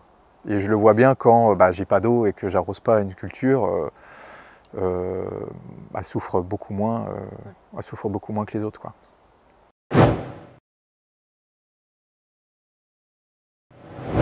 Tu parlais de luzerne. Euh, deux mots peut-être sur euh, la quantité de fauches, de roundballes que tu sors. Euh, comment tu gères la luzernière? Alors luzernière, je... j'ai à peu près 8000 m2 de luzerne. je l'ai implanté en 2018. Donc après prairie, travail du sol du coup, hein. donc labour, compost, semis, de façon classique. Maintenant, elle a, 5 bah, ans. Euh, euh, je fais trois coupes par an. Euh, la première coupe, elle a lieu en avril, la deuxième en juin-juillet et la troisième en septembre. la première coupe, en fait, elle a, la particularité en fait, d'être en mélange avoine-luzerne parce qu'après la dernière coupe en septembre, je fais un sursemis de céréales en général, je mets de l'avoine dedans, de l'avoine diploïde, euh, dans ma luzernière. Donc toujours pareil, le but c'est d'avoir euh, le maximum de biomasse euh, sur ma luzernière. Donc, donc là, la première coupe, c'est top. Quoi. Donc là, j'ai vraiment un gros mélange. Donc c'est là où j'ai le plus de roundballers à l'hectare. Quoi. Donc je dirais, là cette année, j'ai eu 16, 16 roundballers par exemple. Sur la première coupe Sur la première coupe pour 8000 euh, m2, donc ce qui est plutôt pas mal. Et euh, un round baller, pour moi, ça me fait 4 planches de culture. Les planches de culture font 30 mètres de long, 35 mètres de long, pardon. Donc, euh, et ça représente 200 mètres carrés. Un round baller, c'est 200 mètres carrés pour moi. Ce qui fait à peu près 15 tonnes de matière sèche par an. Donc, j'atteins pas encore les 20. D'où l'idée justement de compléter parce qu'au début ça marchait bien les 15 tonnes de matière sèche par hectare et par an. Maintenant que le sol est bien en route, en fait, euh, ça manque un peu. Quoi. Euh, ça se digère plus vite euh, et, je sens que ça demande un peu plus de, matière. Donc du coup, c'est pour ça que je complète avec du compost pour l'instant, plutôt que de rajouter plus de paille, parce que du coup, ça voudrait dire plus de manip, plus de matière, plus de temps. Et voilà. Donc c'est un peu ça l'idée. quoi. Et donc, bah, comme on le voit ici, en fait, c'est en rubané, quoi. Donc, c'est vraiment euh, anaérobie. Il y a une pré-transformation, l'eau est gardée, il y a de la bactérie, il y a du champignon. Et euh, donc, du coup, ça, sent, euh, ça sent l'élevage, hein, ça sent la ferme d'élevage. Hein, du coup, quand, on épand ça, là, pendant quelques semaines, donc c'est intéressant, c'est une autre ambiance, quoi. Mais ça, marche, ça marche très très bien, quoi.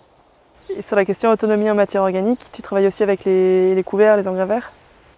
Euh, Autant que faire se peut, ouais. Dès qu'il y a une fin de culture, euh, bah, en fait, vu que toutes mes cultures d'automne-hiver, dès qu'il y en a une qui se termine, et eh bah, à la fin de culture, soit je bâche pour que ce soit plus propre, parce que généralement c'est les allées qui se salissent. je bâche et 4 semaines je débâche et je sème un engrais vert et je mets du foin par-dessus. Donc ma dose à l'hectare et par an. Euh, ou soit je, sème directement en fait. Quoi. Donc je sème à la volée et puis je mets de la paille par-dessus. Et voilà, et ça pousse à travers. Et euh, donc tout ce qui est après courge, après oignon, après les choux d'automne, donc toutes les cultures jusqu'à mi-novembre en fait. Donc avec un engrais vert de type euh, févrole, moi c'est ma, ma, base, j'adore la févrole. Et on peut la semer jusqu'à très tard en plus, donc c'est super intéressant. Et après, je complète ça avec euh, pois, vesse, beaucoup de légumineuses. Au moins 75% légumineuses, si ce n'est 100%, mais au moins 75% légumineuses. Et puis après, je rajoute une céréale. Euh, là, ce que j'ai à pas cher ici, moi, c'est du triticale. Densité de semis?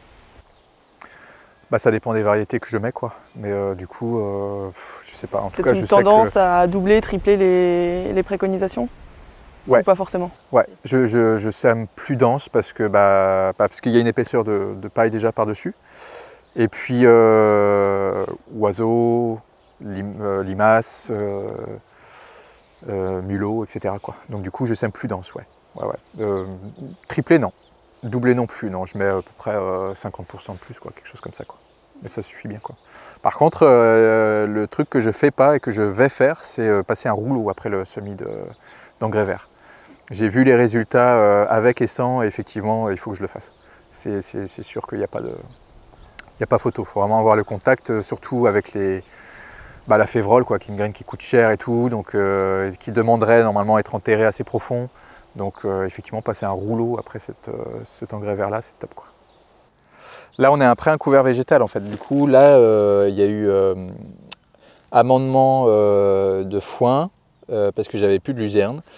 Euh, donc en mois d'octobre l'année dernière, fin octobre, début novembre, euh, et semis d'engrais vert, euh, donc févrole, triticale, pois, vesse.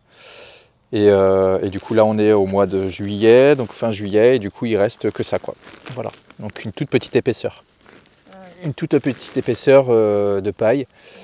Et, et, voilà ce qui reste. Donc du coup, ce qui m'amène moi à penser que le, un round baller pour quatre planches, en fait, ça commence à être un peu limite.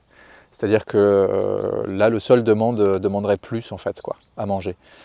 Donc, euh, donc à réfléchir justement sur, euh, sur l'augmentation des doses pour voir si un round baller pour trois planches, ça pourrait être un peu mieux. Là, on atteindrait les 20 tonnes hectares, justement, quoi, augmenter juste de 5 tonnes hectares. Donc, parce que, en fait, L'idée c'est ça, c'est euh, le, le, round de foin pour 4 planches, donc c'est l'équivalent de 15 tonnes de matière sèche à l'hectare. L'engrais vert qui est eu dessus, euh, il n'était pas très très développé et euh, je l'estimais moi à peu près à 5 tonnes hectare de matière sèche. Donc ce qui me fait 20 tonnes hectare.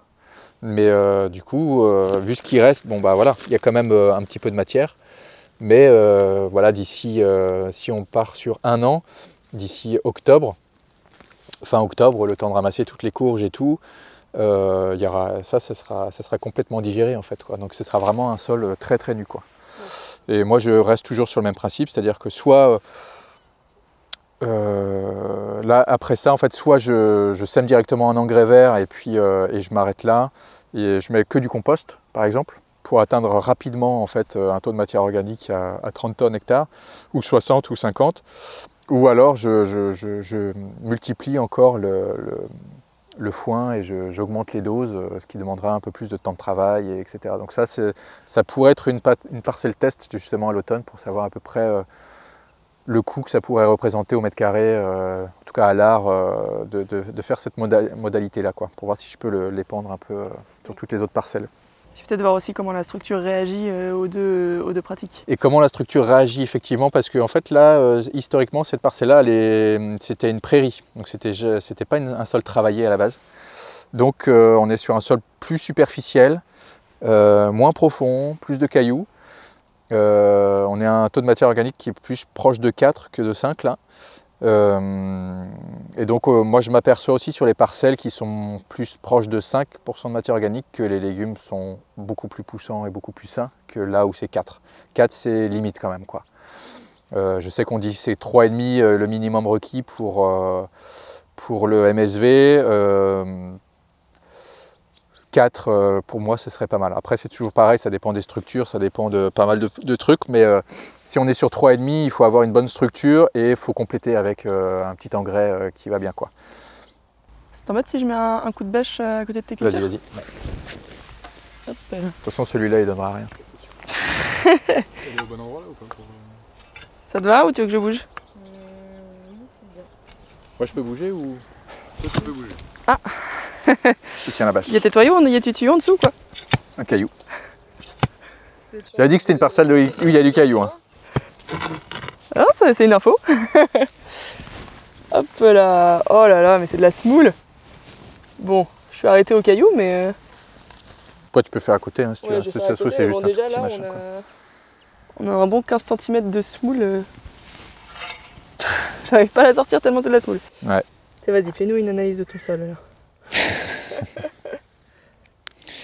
bah là, du coup, tu vois, on voit bien la, structure. Euh. Moi, en fait, à chaque fois que je que j'ai fait ma transition en sol travaillé et sol non travaillé, moi, ce que je regardais, en fait, c'était ça, quoi, la prospection racinaire qui, euh, qui descendait, même au-delà d'un d'un tassement euh, qui pouvait se faire même au couteau, en fait, quoi. quand, quand, on vient tapoter avec un couteau pour savoir si ça rentre bien dedans ou pas. Il y a toujours un historique de travail du sol, avec, euh, même si c'est que du canadien ou que du vibroculteur, il y a quand même un lissage qui se fait avec le temps. Euh, quand on a un bel engrais vert qui pousse même pas très haut, hein, euh, mais quand surtout avec des graminées où là on a un puissant système racinaire quand même qui descend, on le voit bien s'il y a vraiment une zone de tassement qui, stoppe net les racines ou si ça prospecte. Quoi.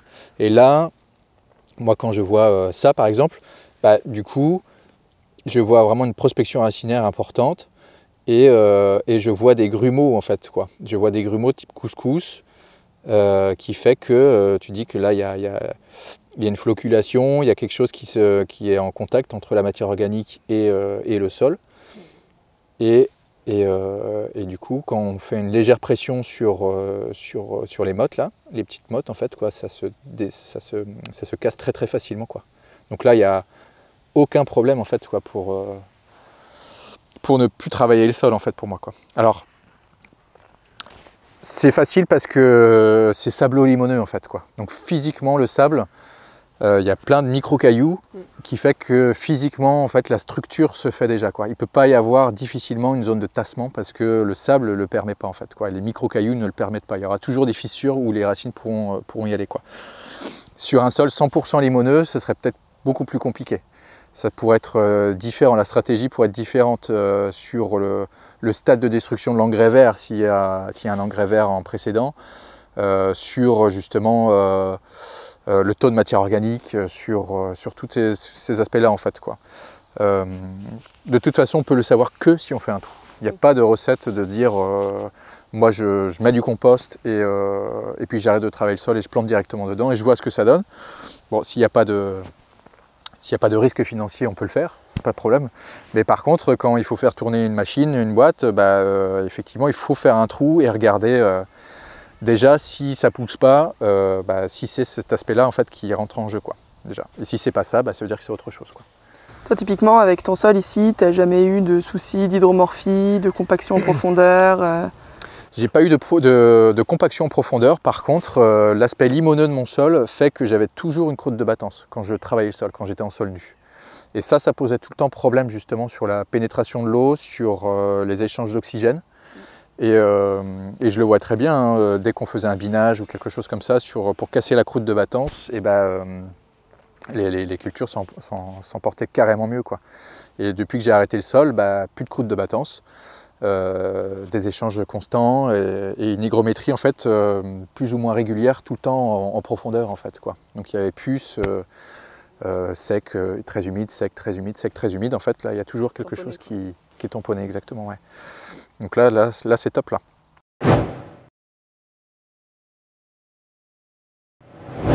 Autre information intéressante, on est en dessous d'un arbre là.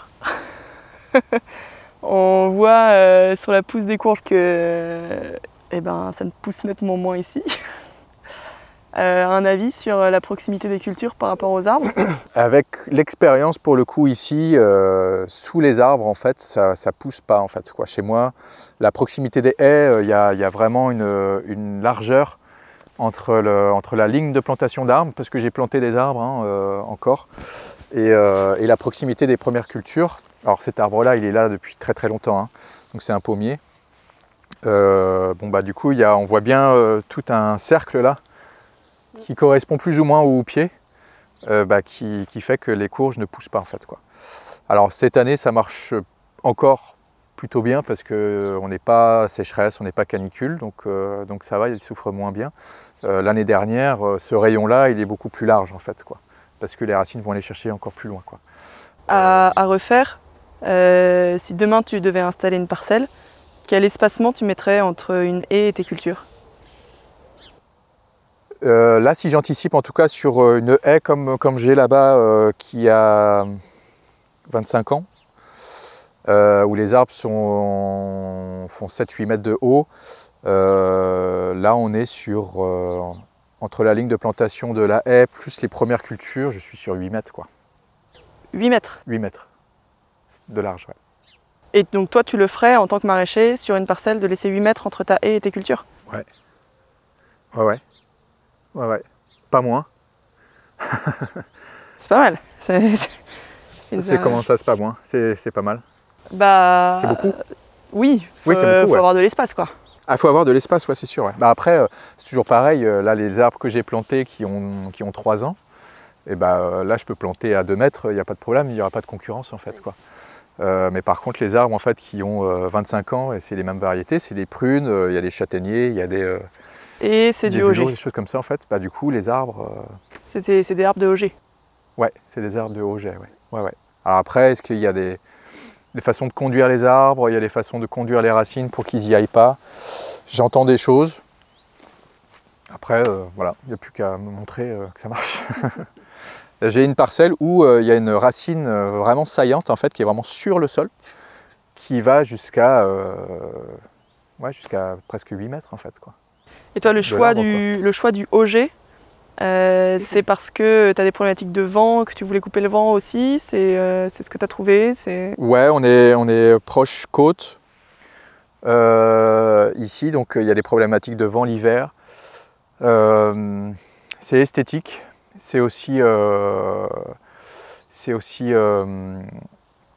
historique, c'est-à-dire que les arbres ils ont toujours été comme ça, conduits comme ça. Donc moi je n'ai pas voulu les, contraindre à faire des têtards ou ou faire autre chose. Euh, du coup, euh, il y a un mix en fait. J'ai des arbres de CP et j'ai des arbres de OG en fait. quoi. Donc euh, j'essaie de mixer pour avoir un peu de, lumière, des puits de lumière qui passent à travers. et aussi des arbres qui montent très très haut pour le vent. quoi.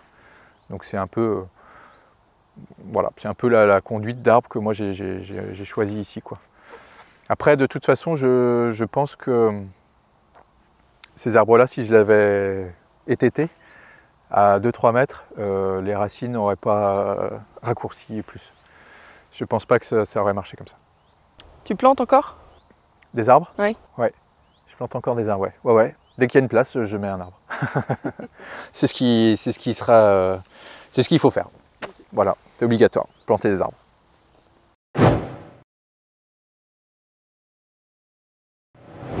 On était tout à l'heure sur les courges et tu parlais des rotations, ou plutôt de ta stratégie de rotation ou non. Euh, courgette, la même chose. Est-ce que tu veux en parler un peu? Euh, Oui, alors du coup, la stratégie de rotation, pour moi, elle a changé par rapport à ce que je faisais avant, où euh, on était sur un système très scolaire, ce que j'ai appris en cours, hein. c'est-à-dire qu'on classe les légumes par gourmandise très exigeant, moyennement exigeant, peu exigeant en matière organique. On fait des rotations par rapport à l'exigence et on fait des rotations par rapport aux euh, familles de légumes. Euh, effectivement, je remets ça en question euh, parce que dans la logique d'un sol vivant, dans la logique de ce qui existe naturellement, en fait, que les rotations dans la nature n'existent pas. et donc, comment expliquer ça? C'est-à-dire que le, principe même d'un légume ou d'une plante qui pousse sur place, son système, la majorité de son système reproductif en fait va faire une graine qui va tomber sur place en fait. Quoi. Donc d'une année sur l'autre, euh, elle va soit s'améliorer, il y aura une sélection naturelle, elle va s'améliorer, etc. Et donc du coup, euh, elle n'est pas malade pour autant. En tout cas, les rumex ne sont pas malades alors qu'ils se ressèment au même endroit. Donc ça, c'est étonnant. Et pour toi, le rumex ne tombe pas malade et la courgette peut tomber malade, ou l'oignon, ou le poireau, je ne sais pas. C'est qu'il y a une notion de déséquilibre en fait. Euh, en fait, la question, c'est juste de, savoir pourquoi faire une rotation on se dit, bah tiens, euh, ma culture elle est malade, ou j'anticipe le fait qu'elle soit malade, donc du coup je la change de place. Mais du coup ça résout un symptôme, mais ça ne résout pas du tout la cause de pourquoi elle est malade en fait. Donc euh, en ne faisant pas de rotation, on essaie de chercher la cause de pourquoi elle est malade.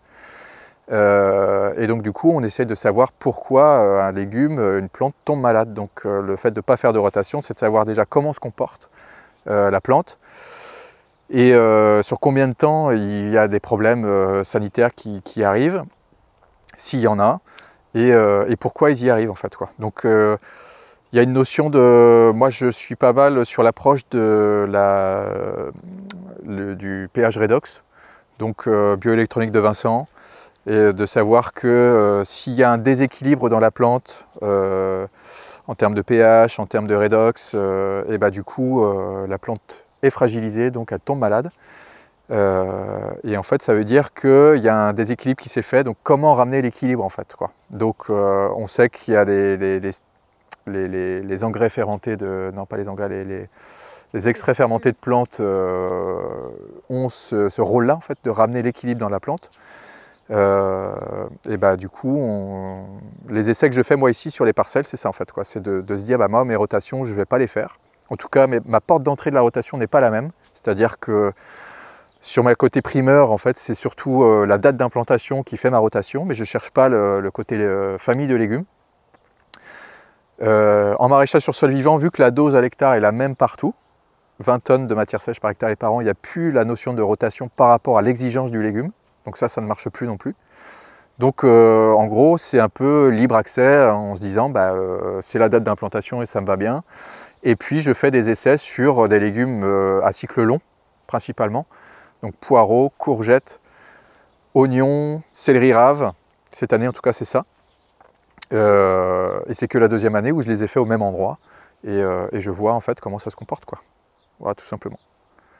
Et pour l'instant, enfin, cette année, il n'y a pas de problème sanitaire visible. Ça c'est sûr. À voir sur le moyen terme, le long terme. Quoi. Mais l'idée c'est de, d'essayer de comprendre en ramenant l'équilibre euh, dans le sol. Si le sol est équilibré, tout ce qui pousse au-dessus sera équilibré. Voilà. Là, c'est ta dixième, onzième année? Ouais. Euh, tu maîtrises bien tes itinéraires? Ouais. Euh, tu maîtrises ton chiffre d'affaires? Oui. et tu prends le temps de t'intéresser aux questions d'équilibre du sol, pH redox, parce que c'est sécurisé par derrière et que ça n'a pas été la première question en t'installant quoi. En m'installant, la première question c'était euh, temps de travail revenu. Voilà, c'était sûr de, que je voulais pas. Euh, moi, ce qui me sécurisait en m'installant, c'était de ne pas me faire euh, avoir par mon travail. parce que j'ai vu beaucoup de maraîchers qui travaillaient beaucoup pour gagner peanuts. Donc, du coup, moi, c'était pas du tout le but. donc, c'était déjà une sécurité financière, en tout cas, quelque chose qui me correspondait moi. Euh, et, après, en parallèle, moi j'ai toujours aimé euh, l'expérimentation. Et donc, euh, après, c'était toujours des itinéraires classiques. C'était, bah, on va expérimenter une nouvelle variété, on va expérimenter des choses comme ça. Donc, c'était très ponctuel. Mais là, effectivement, avec le, maraîchage, enfin, en tout cas, le, non-travail du sol, il y a plein de notions en fait quoi, qui sont toutes nouvelles et qui apparaissent. Et, et c'est ça qui est hyper stimulant en fait. Quoi. Donc, euh, donc là, vu que je sais euh, comment fonctionnent mes itinéraires, je sais comment, euh, si, je, si, je, loupe une culture, je sais que c'est pas très grave et que ça va pas me, me, pénaliser sur mon salaire à la fin de l'année, très très peu, je peux me permettre plus de risques, en tout cas, effectivement, ça c'est sûr. Tes essais, tu les fais à la planche, à la demi-planche, comment tu gères le risque? Ça dépend de l'essai. bah Là, sur les rotations, clairement, c'est tout quoi.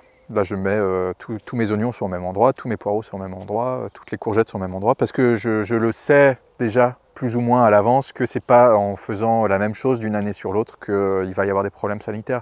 Parce que quand on s'installe en maraîchage, on le fait de toute façon, même si on ne le veut pas, euh, parce que la commercialisation change, parce que nos volumes de, légumes changent, donc du coup on va faire aller je sais pas, 3-4 euh, planches de courgettes en plus que l'année d'avant, donc forcément peut-être que ça va empiéter sur la même zone que l'année dernière. Ça, c'est pas grave en fait d'une année sur l'autre. Après, c'est vraiment sur le moyen terme, on va dire, quoi, euh, je dirais 5 ans, au même endroit, savoir s'il y, a un problème ou pas. Quoi. Donc c'est seulement avec ce temps-là, je pense qu'on aura du recul. Quoi.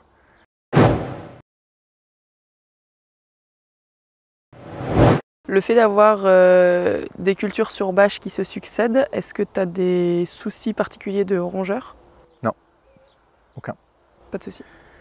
Globalement, sur la ferme, j'ai beaucoup de rongeurs, il y a beaucoup de galeries, euh, mais, euh, mais ça ne me pose pas trop de problèmes en général. Je pense que j'ai 90% des cultures qui réussissent et le peu de cultures qui loupent, en fait, c'est pareil. dans ma réflexion, en fait, le rongeur, il pose problème sur une culture parce que c'est la culture qui est en déséquilibre, en fait. Et le rongeur vient rééquilibrer tout ça, en fait. Ce n'est pas le rongeur le problème, c'est euh, l'implantation de la culture qui s'est mal faite.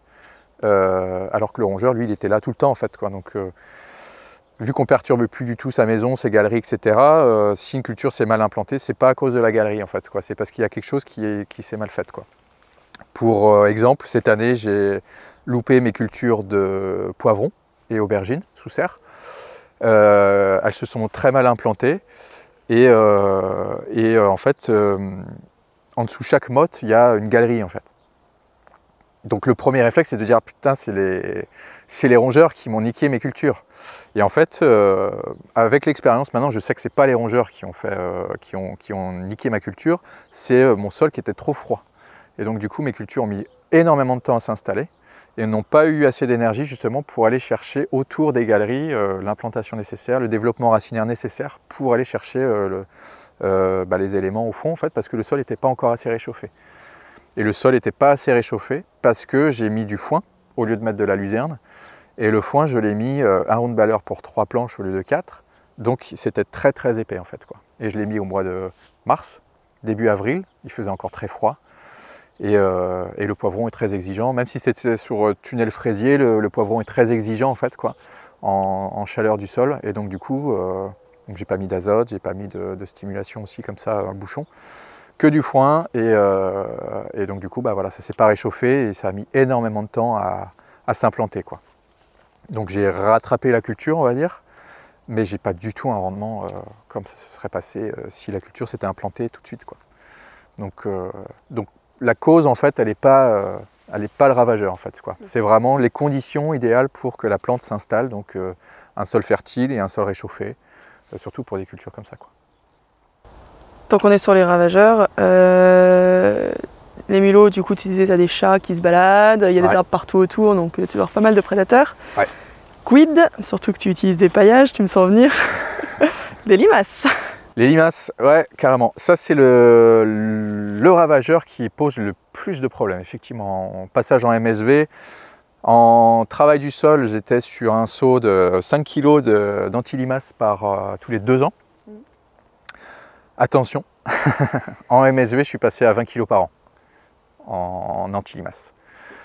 Et ça, c'était du coup, euh, au début, tu le fais pas, tu dis, bah, je vais mettre, euh, je vais regarder si ça, si, j'ai des problèmes de limaces ou pas. Et effectivement, euh, bon, euh, tu plantes une salade, le lendemain c'est déjà complètement bouffé à 90%. Tu te dis, bon bah là c'est systématique, je vais mettre de l'anti-limace tout le temps. Et c'est systématique effectivement de mettre de l'anti-limace. Là c'est ma cinquième année en MSV et là euh, c'est la première année où je mets zéro anti-limace sous serre parce que c'est les premières parcelles que j'ai passées en MSV aussi. et toutes les parcelles qui sont aux abords des serres, où j'ai pas mis, euh, j'ai mis zéro antilima cette année aussi, et du coup j'ai zéro problème. Et pourtant je fais de la culture euh, primeur sous serre, donc des navets bottes, euh, des betteraves bottes, des choses comme ça, des choses où on a besoin d'avoir des belles fans. Et l'idée c'était, bah, toujours pareil, hein, c'est des essais, tous les ans je mets pas d'antilimas sur une parcelle test, une planche test, Et, là, sur ma première série de, navets bottes de l'hiver, par exemple, que je plante en octobre, et euh, bah, sur la première série, j'ai pas eu de problème de limaces. Alors j'en ai eu un tout petit peu, hein, bien sûr, mais rien d'inquiétant qui faisait qu'il faut que j'en mette. Quoi. Euh, donc la décision a été prise de ne pas en mettre, euh, et, sur toutes mes séries, donc j'ai une serre entière de, de navets bottes, zéro anti-limaces, zéro problème. Quoi. quelques, tâches, mais rien d'inquiétant. Du coup, les séries de salades, de betteraves, de... Bah, toutes les premières cultures que j'ai mis aux abords des serres, en fait, j'ai mis zéro anti-limaces. Les courges aussi, c'est pareil. Euh, à la plantation, d'habitude, je mettais toujours de l'antilimace à la plantation de courges. Là, j'ai mis zéro antilimace et tout ça, c'est super bien passé. Donc, pas de dégâts. Donc, euh, pareil, la théorie me faisait dire qu'on entend parler qu'il y a une régulation qui se fait au bout de 4-5 ans. Moi, ça fait 5 ans que je suis installé en MSV. Euh, bah, la régulation se fait effectivement. Quoi. Donc là, cette année, j'ai fait l'essai, là, donc plantation de choux avec rang de salade en interrang. Et euh, j'ai pas mis d'antilimace, bon bah là j'ai plus de salade. Donc voilà. Donc effectivement ça marche euh, pas partout quoi. Hein? Le tout sous paille Sur paille, ouais, ouais c'est ça. Il n'y a pas de bâche plastique, c'est juste sur foin, euh, enfin sur, sur luzerne du coup quoi. je me suis dit bah c'est bon quoi, ça s'est régulé partout, ça communique et tout, c'est nickel. Et puis en fait non pas du tout quoi. Donc il y a des parcelles encore, notamment là-bas sur les primeurs où où bah voilà, il y a des limaces. Donc là, il faut, mettre de l'anti-limace. Mais je sais que bah voilà, maintenant, ça va se réguler euh, au fur et à mesure du temps. Hein. C'est la bonne nouvelle. Hein.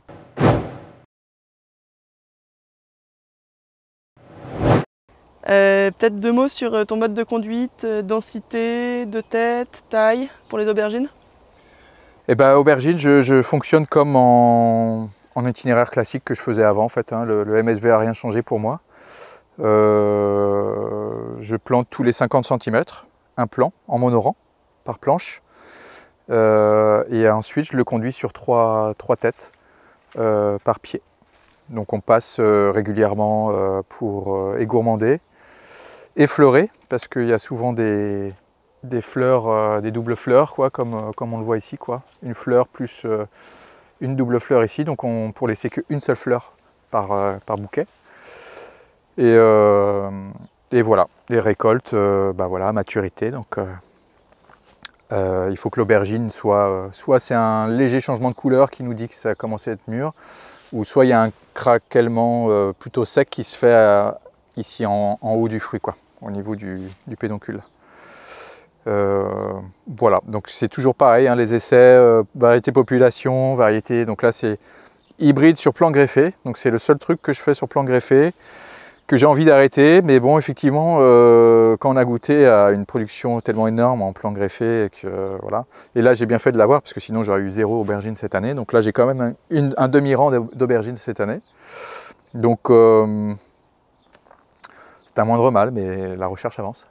Et tes variétés population, tu les conduis de la même façon euh, tous les 50 en triple tête ou?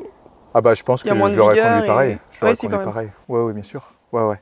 Là ils sont trop petits pour pour que je puisse faire euh, quoi que ce soit en intervention. Là, ça vaut pas le coup que je les laisse, que je, le, que je m'en occupe, mais, euh, mais euh, je l'aurais fait pareil, ouais, bien sûr. On parlait des poivrons tout à l'heure et de l'épaisseur de, de paillage qui empêchait qu'ils prennent bien au, printemps. Ouais.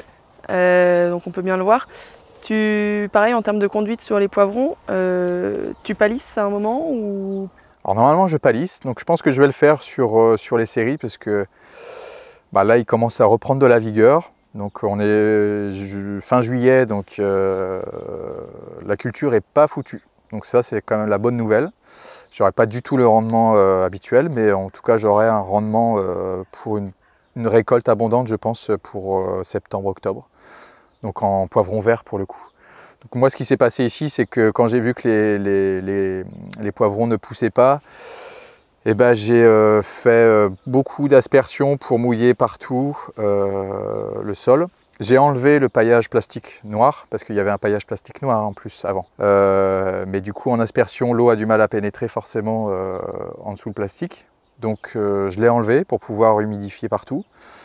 Donc c'est une alternance entre goutte à goutte et aspersion, parce que l'aspersion a tendance à refroidir encore le sol alors que le goutte à goutte a tendance à juste localiser et à donner à boire euh, juste à la plante, mais, euh, refroidit beaucoup moins le sol. Donc euh, C'était juste l'idée de, garder une humidité suffisante pour qu'il y ait une prospection racinaire des poivrons, mais pas trop arrosé pour pas garder un sol encore froid, parce que l'eau des bassins, ben, en mois d'avril, mai, n'est pas encore super chaude, surtout cette année où il fait pas très très chaud. Donc j'ai rajouté en urgence de l'engrais bouchon à chaque pied de poivron aussi, en plus. Donc là, j'ai pas calculé, hein, j'ai mis une poignée, une poignée à chaque pied d'engrais bouchon euh, aspersion. Et puis, euh, et la stratégie après, c'est euh, de récolter tous les premiers poivrons, tous les poivrons verts en fait qui apparaissent, pour qu'ils fassent beaucoup plus de développement végétal de feuilles, pour pouvoir avoir une belle récolte de poivrons verts, mai, septembre, octobre. Quoi. Voilà. Donc là, j'ai fait l'impasse sur les poivrons rouges, et poivrons couleur en tout cas, et, et au moins j'aurai un peu de volume en septembre, octobre. Voilà la stratégie. Donc après, euh, oui, je vais le palisser. Euh, euh, l'itinéraire technique du poivron, pour moi, c'est je les plante très serrés. Donc il n'y a que 20 cm en interrang. Et sur le rang, j'ai 40 cm. Donc c'est 20 par 40. pourquoi je fais ça? Parce que le, poivron est très sensible au coup de soleil. Donc quand je le plante très serré comme ça, en fait, il y a toujours des feuilles qui sont sur les fruits. Et, ça évite largement les coups de soleil qu'il y a sur les, sur les fruits. Et après, je mets un piquet tous les 5 mètres. Et après, je viens avec euh, une ficelle euh, entourer euh, tous les piquets et puis palisser comme ça sur la longueur les poivrons. Tu fais des sapins de Noël? Ouais, bah je, relie chaque piquet en fait ah sur les bords. Sur les bords quoi en fait quoi, pour qu'il reste condensé comme ça, en mettant une petite ficelle au milieu des, piquets de 5 mètres pour que ça, reste comme ça quoi. Bon là cette année j'aurai pas trop de problème parce qu'il n'y aura pas énormément de poids je pense pas quoi. Mais euh, quand ça donne bien, effectivement, bon, les poivrons sont hauts comme ça et puis euh, c'est bien, bien chargé en fruits. Quoi. Du coup, tu as quoi Tu as 4-5 étages de ficelle euh Au moins 3, ouais. entre 3 et 5. Ouais. ouais. ouais, Donc voilà pour l'ITK. Donc oui, bah, surtout que maintenant je sais que le foin, doucement, peut-être le faire en deux fois en fin d'hiver pour la plantation de, poivrons et puis bien vérifier que le sol soit suffisamment chaud, euh, etc. Pourtant, avant, il y avait du... C'était quasiment sol nu parce que c'était digéré quoi, euh, sur le foin d'octobre. Parce que sous serre, euh, je ne l'ai pas dit, hein, mais sous serre, je, fertilise deux fois par an. Autant je fais un round baller par an en plein champ, mais sous serre, c'est le double. Donc j'en mets deux par an en fait. Quoi. Et sur trois planches au lieu de quatre. Donc on est, là, pour le coup, on est sur 40 tonnes hectares de matière sèche là parce que ça se, dégrade beaucoup plus vite. Donc euh, là en mois d'avril il n'y avait pas de... c'était quasiment sol nu, ça s'était bien dégradé et j'ai rajouté euh, euh, donc il y avait un, une bâche d'ensilage aussi noire. J'ai rajouté le foin, j'ai mis un paillage noir, etc. Mais bon, ça n'a pas suffi en fait. là, du coup, à côté de nous, on a une association qui a bien marché puis un peu moins bien marché. Tu peux nous en dire deux mots? Et oui, faut pas avoir peur de montrer ses échecs. Euh, bah, qu'est-ce qui n'a pas marché? Bah, C'est toujours pareil, c'est poivrons et euh, concombres, donc implantés au même, au même moment. Sol froid, beaucoup d'épaisseur de paille. Euh, et, l'itinéraire technique, en fait, sur des monorangs comme les aubergines ou comme sur les concombres, en fait, bah, j'inclus en association de culture des choses. Donc là, c'est une aromatique. Donc j'ai mis un rang de persil euh, donc implanté au même moment aussi, au mois d'avril. Euh, peut-être même fin mars, peut-être avant les concombres d'ailleurs, je crois que je les ai implantés. Euh, et puis de l'autre côté, j'ai mis un rang de fenouil et un demi-rang de fenouil, donc c'était pareil, un reste de plan qui me restait, et puis un reste de plan de côte de blette qui me restait. Donc là, pour le coup, le persil, je le fais systématiquement, ça marche bien. Et autant la côte de blette et le fenouil, c'était un essai cette année pour, en association et ça a bien marché. Donc il y a eu un, patinage quand même au début, donc euh, ça vivotait, ça poussait pas beaucoup. Et puis à un moment donné, il y a eu un, voilà, un, truc et ça, ça a juste euh, explosé. Donc j'ai eu des gros fenouilles, j'ai eu des grosses côtes de blettes. Et, euh, là, on voit des repousses que j'aurais peut-être pu valoriser, mais je ne l'ai pas fait. Mais du coup, c'est pareil, il y, y, a des, gros bulbes. Et les concombres, par contre, bah voilà, quoi, il y a certains plants qui ont pris. Donc on est sur le milieu de serre ici. Donc forcément il fait plus chaud, donc c'est ceux-là qui sont mieux implantés que sur les bords de serre où là c'est vraiment, euh, vraiment petit, ça donne rien du tout, donc c'est vert pâle, on sent qu'il y a, voilà, dès le départ ça ne marche pas quoi. Donc bah, c'est pas grave, hein. j'ai refait une autre série de concombres sous serre, dans une autre serre, donc planté il y a 2-3 semaines et qui va commencer à donner la semaine prochaine, je pense, quelque chose comme ça. Donc là, j'en aurai et qui marche très très bien. Donc pareil, sur sol réchauffé, sur but, sous serre, avec de la luzerne. Et donc là, ils sont déjà très verts, très poussants. ça marche très très bien. Et conduit en aspersion là pour le coup aussi. Donc, euh, donc voilà pour cet itinéraire technique. Et puis là, euh, c'est la première année où sur le persil, là, je suis à la, au moins à la sixième coupe. Là. Donc euh, c'est pareil, d'habitude c'est trois coupes. Si j'ai trois coupes sur un persil, je suis très content. Et là, c'est la sixième. Donc, donc bah voilà, on continue hein. jusqu'à ce que ça s'arrête. On ne sait pas trop s'il y a une fin. Il y en aurait une, mais bon voilà, c'est rentable quoi. En gros, le concombre a ramé au démarrage et a du mal à rattraper. Euh, est-ce que c'est euh, la concurrence avec euh, le fenouil et les blettes ou est-ce que c'est le froid et l'implantation dans la paille? Ça faudra retester pour savoir, mais en tout cas, le fenouil et les blettes ont bien marché. Ouais, le fenouil et les blettes ont bien marché et du coup, effectivement, je pense que le concombre a peiné avec cet ensemble-là en fait. C'est sol froid, concurrence, bon, il y, a tout ça qui a fait que. en dessous, j'ai un double goutte à goutte, hein, donc j'en ai un de chaque côté du rang. Donc, donc c'est pas le manque d'eau en tout cas au démarrage qui a, qui a manqué. Euh, c'est vraiment le froid et peut-être la concurrence. Voilà. Enfin, c'est quasiment sûr que ce soit ça. Quoi. Après, je referai euh, dans une autre serre un essai euh, voilà, en prenant bien soin de ne pas mettre de la paille, mais plutôt de la luzerne, et puis en, regardant vraiment la température du sol avant d'implanter. Sachant que bon, bah, voilà, ça dépend toujours des hivers, mais moi je ne fais pas mes plans, je reçois toujours mes plans semaine 17, 15 et 17. Euh, pour les concombres et aubergines. Et donc, euh, du coup, euh, bah, voilà, je les reçois, il faut que je les plante. Quoi. Donc, donc, à suivre. À suivre. Et donc, il y a du melon en Bretagne. Mais oui, madame. Sud-Bretagne, par contre. on est Sud-Bretagne. Morbihan Sud, là. Normalement, on a le même climat que la Vendée, que Bordeaux et tout ça, quoi. Presque. Pas cette année, mais.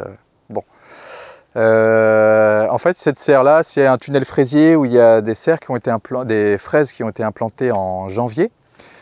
Euh, plan motte, euh, plan frigo, voilà, qui ont été plantées en janvier sur toile tissée, goutte à goutte, classique. Et en fait, l'idée c'était que c'était un essai de plan de fraisier sur juste un an parce que euh, les fraises, ça mobilise une serre pendant longtemps. Moi, c'est de la fraise non remontante, donc euh, c'est juste euh, de la variété sifflorette qui donne pendant trois semaines et après c'est fini. Et après, bah, voilà, ça mobilise une serre. Donc en termes d'espace et de temps, c'est quand même très luxueux quoi, de pouvoir se permettre de faire ça. Donc j'ai voulu faire un essai de fraises annuelles, entre guillemets, pour voir ce que ça donnait. Et après réflexion, je me suis dit, c'est quand même dommage du zapper une vivace et de la conduire en annuel parce que, bah, je sais pas, c'est psychologique en fait. quoi.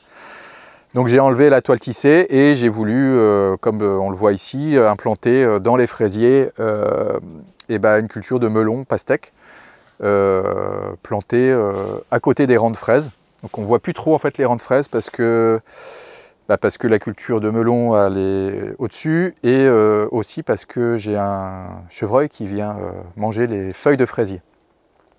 Donc voilà. Donc on va voir ce que ça donne. En tout cas, euh, il y a deux choses qui sont sûres, c'est que les fraisiers sont pas morts, ils sont toujours là. Les plants seront encore vigoureux, donc je sais que j'aurai de la fraise l'année prochaine.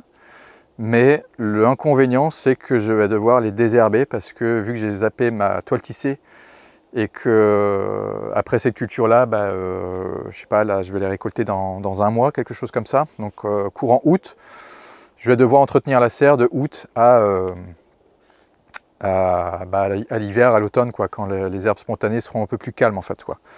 Donc soit soit j'opte pour peut-être peut-être qu'on me le dira en commentaire je ne sais pas Peut-être que je peux opter pour une occultation sur les, fraisiers euh, vivaces pendant 2-3 semaines, peut-être un mois sous serre, mais ça ne va pas faire crever les plants, mais ça va faire crever l'herbe spontanée. Donc après, je pourrais débâcher, ça sera propre. Ou, euh, ou alors, euh, voilà, désherber, ou laisser l'herbe spontanée venir, et puis on verra l'hiver comment, ça, comment ça se contrôle. Quoi. Voilà, je ne sais pas trop, on verra bien. Expérimentation. Et tu disais, Heureusement que tu les as fait sous serre. Euh, ça veut dire que parfois tu les fais en plein air et ça marche bien?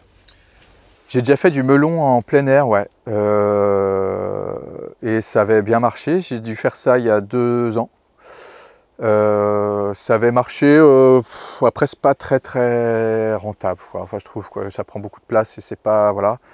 Après j'ai jamais vraiment essayé sous serre. J'ai fait un essai sous serre effectivement il y a trois ans, mais je l'avais conduit en aspersion à 100% et donc du coup j'ai eu un problème justement de sanitaire sur les fruits donc ils commençaient à pourrir parce qu'ils étaient en contact avec le sol qui était humide. Donc, euh, on était en MSV, hein, mais euh, voilà, ça ne marchait pas. quoi. Donc là, je le conduis un peu des deux façons en fait. Quoi. Là, pour l'instant, je le conduis et en goutte à goutte et en aspersion aussi. Euh, mais je sais que là, je vais, vu la, taille des fruits, je ne vais pas tarder à le conduire 100% en, en, goutte à goutte. Voilà, pour ne pas prendre de risques sanitaires sur les, sur les fruits. Quoi. Donc voilà. La tomate, euh, moult questions. Première question, tu fais combien de variétés de tomates euh, différentes? Alors j'ai tomate ancienne, tomate cerise et tomate F1. Donc j'ai trois groupes de mhm. tomates. Et dans les tomates anciennes, euh, j'ai plusieurs variétés. Dans les tomates cerises anciennes, j'ai plusieurs variétés. J'ai tomate cerise F1, tomate cerise ancienne aussi. Mais après... Une quinzaine? Ouais, voilà. Dans les tomates anciennes, ouais, j'ai une quinzaine de variétés. Que je plante euh, de façon aléatoire euh, sur les planches, comme ça, quand je récolte, en fait, c'est déjà mélangé dans les, dans les caisses. Comme ça, après, j'ai plus qu'à. Quand je dispatche dans les, dans les paniers, bah, en fait, je choisis pas mes tomates, quoi, les variétés, quoi. Je, prends comme ça vient et c'est déjà mélangé, quoi. Est-ce qu'il y a des, des variétés que tu as essayées et que tu as arrêtées parce que tu ne trouvais pas bonnes ou au contraire que certaines que tu refais tous les ans parce que tu es vraiment convaincu? Bah, J'ai une base, il y a une base solide. Euh, donc c'est perso, hein. moi j'adore la, rose de Berne, j'adore la noire de Crimée, euh, cornu des Andes, voilà c'est les trois, les trois sûrs. Et puis euh, après j'essaye d'autres variétés quoi, donc là je sais pas, j'ai Carotina, il y a la Green Zebra aussi que je fais, des fois j'arrête, des fois je reprends. là j'en ai une autre, là je sais plus comment ça s'appelle, bah, du coup vu que je change tous les ans et qu'il y en a plein, du coup il y, a, des variétés, je sais plus du tout le nom. Euh, mais j'ai des étiquettes au pied, hein, donc euh, je sais comment. Euh, si elle me plaît, je sais quel nom elle aura. et tomate cerise, c'est pareil, je dois avoir trois variétés anciennes. Et sur les trois, j'ai deux variétés qui sont de mes propres semences, là pour le coup. Donc c'est pareil, la notion de, de tomate en, semences, bah voilà, je sélectionne les plus beaux plants, et euh, les plus beaux fruits, puis je, garde la semence parce que c'est facile à faire quoi, pour le coup sur la tomate. Donc euh, donc c'est pas moi qui fais mes plants, mais je donne mes graines à une, collègue qui fait, des, qui, fait qui fait les plants, qui vend des plants, et du coup qui, qui, nous rend ce service-là. Quoi. Donc ça c'est chouette. Trop bien. Ça te prend du temps à faire euh, tes semences de tomates? Non, non, suis très très rapide. Donc là, et puis c'est un temps que je veux bien prendre. Donc c'est surtout ça aussi qui est important. Donc non, je sais pas, en une journée c'est fait quoi, à peine. Hein. Enfin une journée et puis il faut peu de, alors ça dépend des variétés, mais il faut peu de tomates en fait pour avoir plein de graines, donc euh, ça va quoi. Hormis la cornue des Andes où là c'est un peu plus compliqué, mais, euh, sinon euh, non non c'est assez simple à faire en fait la, graine de tomate. Et puis on le fait une fois et ça nous fait du stock pour 2, 3 ans, 5 ans en fait quoi. Donc je les stocke au congélateur après. Sur l'itinéraire, on est encore sur paille. T'as planté quand euh, C'est quoi ton critère euh, de décision au moment, quand tu reçois les plants, j'imagine Mais euh, t'as planté quand et quand est-ce que tu as fait ta première récolte? Alors j'ai planté en semaine 17, mais donc je plante très tard, donc tard, mais c'est normal pour moi en fait quoi. Donc c'est fin avril. Pareil, parce que sol réchauffé. Donc en fait, j'étale, c'est pas vrai. Je, plante entre semaine 15, j'ai une partie en semaine 15 et une partie en semaine 17. J'avais essayé euh, les premières années en MSV de le planter en semaine 13, donc début avril. Et, euh, en fait, les, plantations de début avril rattrapaient, euh, enfin oui, la semaine 15. en fait, c'était quasiment pareil, quoi. Donc, et ça patinait au début. Donc sur les fins d'hiver un peu froid, la semaine 13 pour moi c'était limite en tomate. Donc j'ai préféré faire plutôt 15 et 17. Et là au moins je suis sûr que ça marche, quoi. Euh, et tant pis si je loupe euh, deux semaines par rapport aux collègues sur la précocité, c'est pas grave en tout cas. Moi je préfère avoir des plans qui ne stressent pas au début et puis, euh, comme ça, si les plans ne stressent pas, moi non plus je ne stresse pas. Donc c'est parfait. Et donc le précédent c'est épinard. une serre d'épinards avec des côtes de blette, une planche de côtes de blette, le reste c'est en épinards, donc la même famille pour le coup. Et euh, je, zappe les cultures. Donc moi, ce que je fais partout, hein, les précédents, je n'arrache jamais les cultures, je les coupe tout le temps. Donc euh, ça prend un peu plus de temps, mais je laisse toujours le système racinaire au sol. Euh, je mets ma luzerne, mon goutte à goutte, et après je mets la luzerne, pardon, dans ce sens-là. pareil, deux goutteurs par planche. Je pourrais en avoir plus, ce serait bien d'en avoir plus, mais c'est pareil, je suis limité en flotte, donc du coup, c'est le compromis que j'ai, moi, de mettre que deux goutteurs, mais quatre, ce serait l'idéal.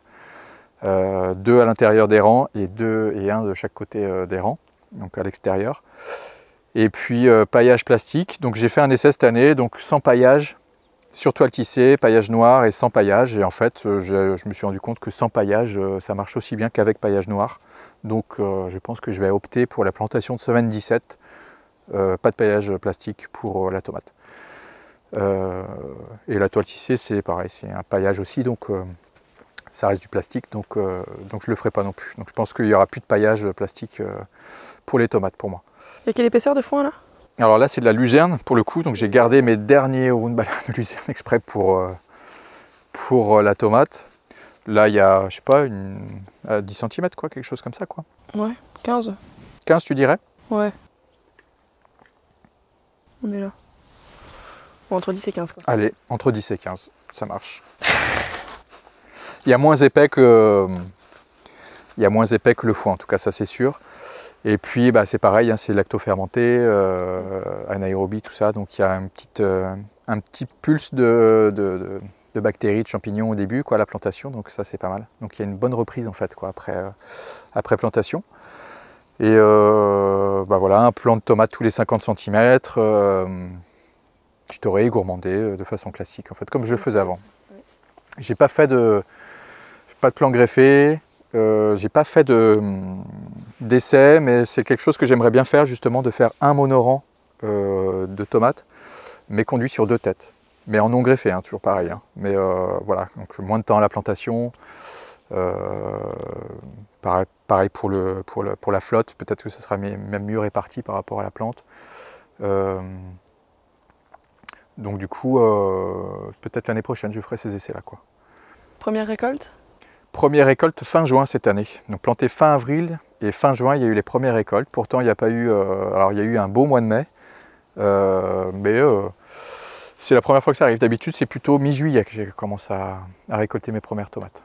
Et je les conduis jusqu'à mi-octobre. 15 octobre, la semaine du 15 octobre, je, zappe la culture. Donc mi-août, je coupe les têtes et, 15 octobre, j'enlève les cultures même modalité, je coupe les, pieds, je laisse le système racinaire au sol, euh, j'enlève les goutteurs, tout ça, je débarrasse la serre, je rajoute de la luzerne ou du foin, ce que j'ai, et puis je rajoute un paillage. Là pour le coup je mets du paillage plastique parce que ça tient l'hiver en fait, quoi. Donc, euh, là ça va être les navets nouveaux qui vont arriver là je pense, de mémoire.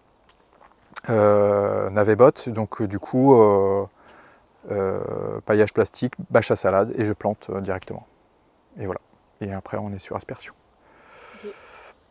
Euh, T'as une serre de tomates J'ai une serre de tomates. Donc ça fait quoi? Ça fait 600-700 euh, mètres carrés? Non, la serre fait 330 euh, mètres carrés. Ouais, c'est 35 mètres de long par 9 de large. Et là, tu es au pied d'une haie. ouais. Tu le ressens? Ouais, il y a de la concurrence. c'est sûr, je pense que c'est plus à la lumière là pour le coup qu'à l'eau. Mais bon, à vérifier. En tout cas, sur la planche de tomates qui est proche de la haie, euh, les premières tomates que j'ai récoltées ont eu le cul noir, alors que les autres n'ont pas eu. Mm. Il s'est conduit pareil, hein. euh, variété Paola pour le coup là. Par contre, elles sont plus... Euh, alors il y a une partie qui est plus verte, plus dominante qu'une autre, donc à voir. et pourtant c'est la partie qui est le plus à l'ombre de l'eau, de l'ombre de l'arbre. Donc mm. bon, à avoir euh, sur les autres cultures. Mais il y a toujours une concurrence par rapport euh, aux planches que je plante euh, côté, côté est que côté haie en fait. Quoi. Donc la concurrence, ça se fait proche. Donc là, la, haie, elle est à, 5 mètres. Quoi. Donc elle n'est pas loin. Oui. Et c'est du sol aussi. Oui, et puis tes arbres, ils, font, enfin, ils sont bien présents. Quoi. Ils sont bien présents. mais je ne les couperai pas pour autant. Oui, oui. Alors si les saules, je les ai coupés pour en garder qu'un tous les 6 mètres, parce que sinon j'en avais un tous les, tous les 2-3 mètres. mais bon, ça, ça, recrache tout le temps. Mais c'est surtout pour la lumière, pour faire passer de la lumière. Donc, et puis ça, ça verdit les, les, bâches, tout ça. Donc voilà, pour l'entretien, c'est pas terrible. Quoi. Petit mot de la fin. Petit mot de la fin. Tu voulais nous parler des différences que tu as vues entre l'aspect sanitaire en MSV ou, en, ou sans MSV oui, euh, alors du coup, euh, là, les avantages, inconvénients d'avoir fait cette, euh, transition, en fait, à part l'idéologie où ça m'a parlé de ne plus travailler le sol, parce que pour moi, ça paraissait logique, concrètement, en fait, c'est surtout des peurs qui étaient présentes dans, cette transition, où il fallait qu'il fallait surmonter par de l'expérience concrète, c'est-à-dire planter dans un sol non travaillé, donc dur, donc plus dur à planter, plus long à planter, euh, bah, voilà, ça fait peur en disant bah, euh, ça va jamais pousser, etc. Une fois qu'on voit les premiers résultats et fait, effectivement que ça pousse dans un sol non travaillé, bah, du coup euh, ça nous rassure et c'est bien. Après les avantages nets, c'était, j'en vois deux principaux en tout cas. C'est le premier, c'est l'explosion de la biodiversité qui était vraiment là.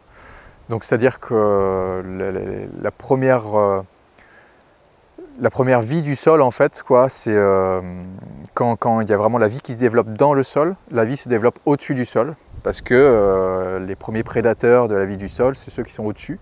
Et euh, donc du coup, j'ai vu énormément de choses revenir très très rapidement, en fait, quoi. Hormis les vers de terre, c'est une chose, mais en fait tout ce qu'il y a à côté, quoi. Donc des insectes qu'on ne connaît pas, et puis des araignées, et tout ce qui est amphibien.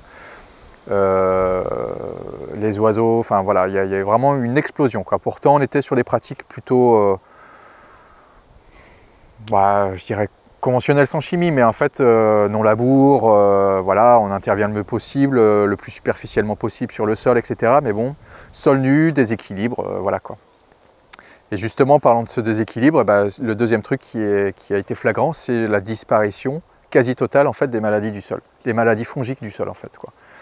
En maraîchage classique, en fait, on a beaucoup, beaucoup de problèmes. Euh, en tout cas, nous, ici, c'était le sclérotinien sur euh, salade, sur euh, haricots, sur les endives, sur pas mal de cultures, du fenouil, des choses comme ça, en fait. Quoi. Au bout d'un an, j'avais presque plus de sclérotinia et maintenant, j'en ai plus du tout, en fait. C'est, du passé. hernie du chou, c'est fini. Euh, sur les salades, en fait, toutes les maladies salades, on perdait euh, des fois des, séries entières de salades parce qu'il y a eu euh, une maladie, je ne sais même plus comment ça s'appelle, quoi, du brémia, des choses comme ça, où les préconisations c'était bah, il faut exporter pour empêcher que ça contamine le reste. et du coup, on a perdu quand même pas mal de, de séries de salades comme ça. Et depuis que je fais du non-travail du sol, maintenant c'est bah c'est pareil, c'est du passé en fait. Quoi. Maintenant, ce qui me bouffe mes salades, moi, c'est les limaces. c'est plus les maladies, en fait, c'est vraiment les limaces. Donc euh, encore un peu de patience et du coup, tout sera équilibré sur la ferme. Euh, et le chevreuil aussi, quoi, qui vient croquer les salades si j'oublie de mettre un voile dessus.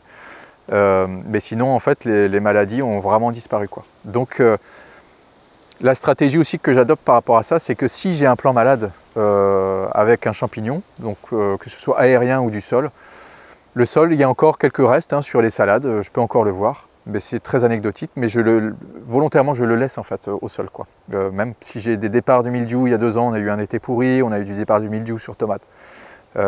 volontairement je laisse le mildiou dans la serre en fait, quoi. pareil aussi. quoi. L'autre maladie du sol c'était le mildiou terrestre sur tomates. pareil, je perdais beaucoup beaucoup de, de, pieds, une centaine de pieds par an. Euh, suivant les variétés, alors la Paola est peut-être un peu plus résistante que d'autres, mais nous on était sur des variétés F1 à l'époque euh, où il y avait des variétés qui étaient complètement sensibles et donc on perdait beaucoup de pieds. Là j'ai vraiment plus du tout de milieu terrestre, c'est fini aussi ce truc-là. Donc euh, c'est ça en fait, c'est vraiment une notion d'équilibre, une notion d'harmonie en fait, c'est-à-dire que s'il y a un ravageur, le ravageur il arrivera toujours forcément avant le prédateur. Euh, mais si on ne laisse pas la place aux prédateurs de venir euh, équilibrer le milieu, et eh ben, euh, eh ben, ce sera toujours déséquilibré en fait. Donc du coup, le MSV, il y, a, des choses qui se passent instantanément à court terme, donc dans l'année, à partir du moment où on arrête de travailler le sol. Et il y a des choses comme la régulation des limaces, comme la régulation sûrement de certaines maladies fongiques, des choses comme ça, qui vont se réguler, mais sur plus ou moins long terme en fait. Ça c'est évident. Et maintenant, moi, je reviendrai plus, je reviendrai pour rien au monde en arrière. Ça, c'est sûr. Et quand j'entends mes collègues qui, qui parlent de certaines maladies, euh, cladosporiose, euh, sclérotinia, des choses comme ça, et que je leur parle de mon expérience en fait. Quoi. bah, euh, voilà, je leur dis juste, juste faites, un essai. Personne ne dit de faire du MSV sur tout ou rien, c'est pas, pas 100% de sa, sa, parcelle, ou, ou mais c'est vraiment juste une planche, deux planches, un art on fait un essai, on fait des protocoles euh, et, puis, euh, et puis on regarde comment ça fonctionne et c'est tout en fait. Quoi. Et puis euh, c'est vraiment la preuve par l'exemple. C'est comme ça que ça avancera. Quoi. Et ça nous fait une super conclusion. Faites un essai. Faites, faites des essais, c'est ça. Et faites-vous accompagner pour les faire si vous voulez. Qui marche très bien jusqu'à maintenant. Alors que je prête à des amis qui sont en projet Ving justement. Euh, qui, sont, qui ont été plantés en 2000, euh, je sais plus moi, 2018, 2019, quelque chose comme ça, ouais. 2019, je dirais. Donc là, qui sont en la première année de production, elle est là, cette année-là. Donc euh, la, contrepartie d'avoir laissé cette parcelle d'essai, c'était pas de travail du sol. Donc et du coup, ça tombe bien parce qu'ils étaient intéressés pour par ça, ces, itinéraires techniques là aussi. Donc Ving MSV, ça marche, ils sont contents parce que ça marche super bien quoi. Et puis là, c'est des essais MSV, plantation de vignes dès le départ en fait, quoi, euh, sans travail du sol. Donc, euh, ou euh, dans, les, dans les réseaux viticoles sans travail du sol, en agriculture de conservation, c'est surtout sur des vignes qui sont existantes où il y a des transitions en fait, quoi. Donc il faut habituer la vigne, le système racinaire et tout ça à, repasser, alors que là, c'est dès la plantation. donc là, il y, a, y, a, déjà un truc hyper intéressant, quoi. Les viticulteurs euh, d'autres régions qui viennent euh, visiter ici sont assez impressionnés sur euh, la vigueur des plants et les résistances justement aux sécheresses et tout ça, surtout l'année dernière.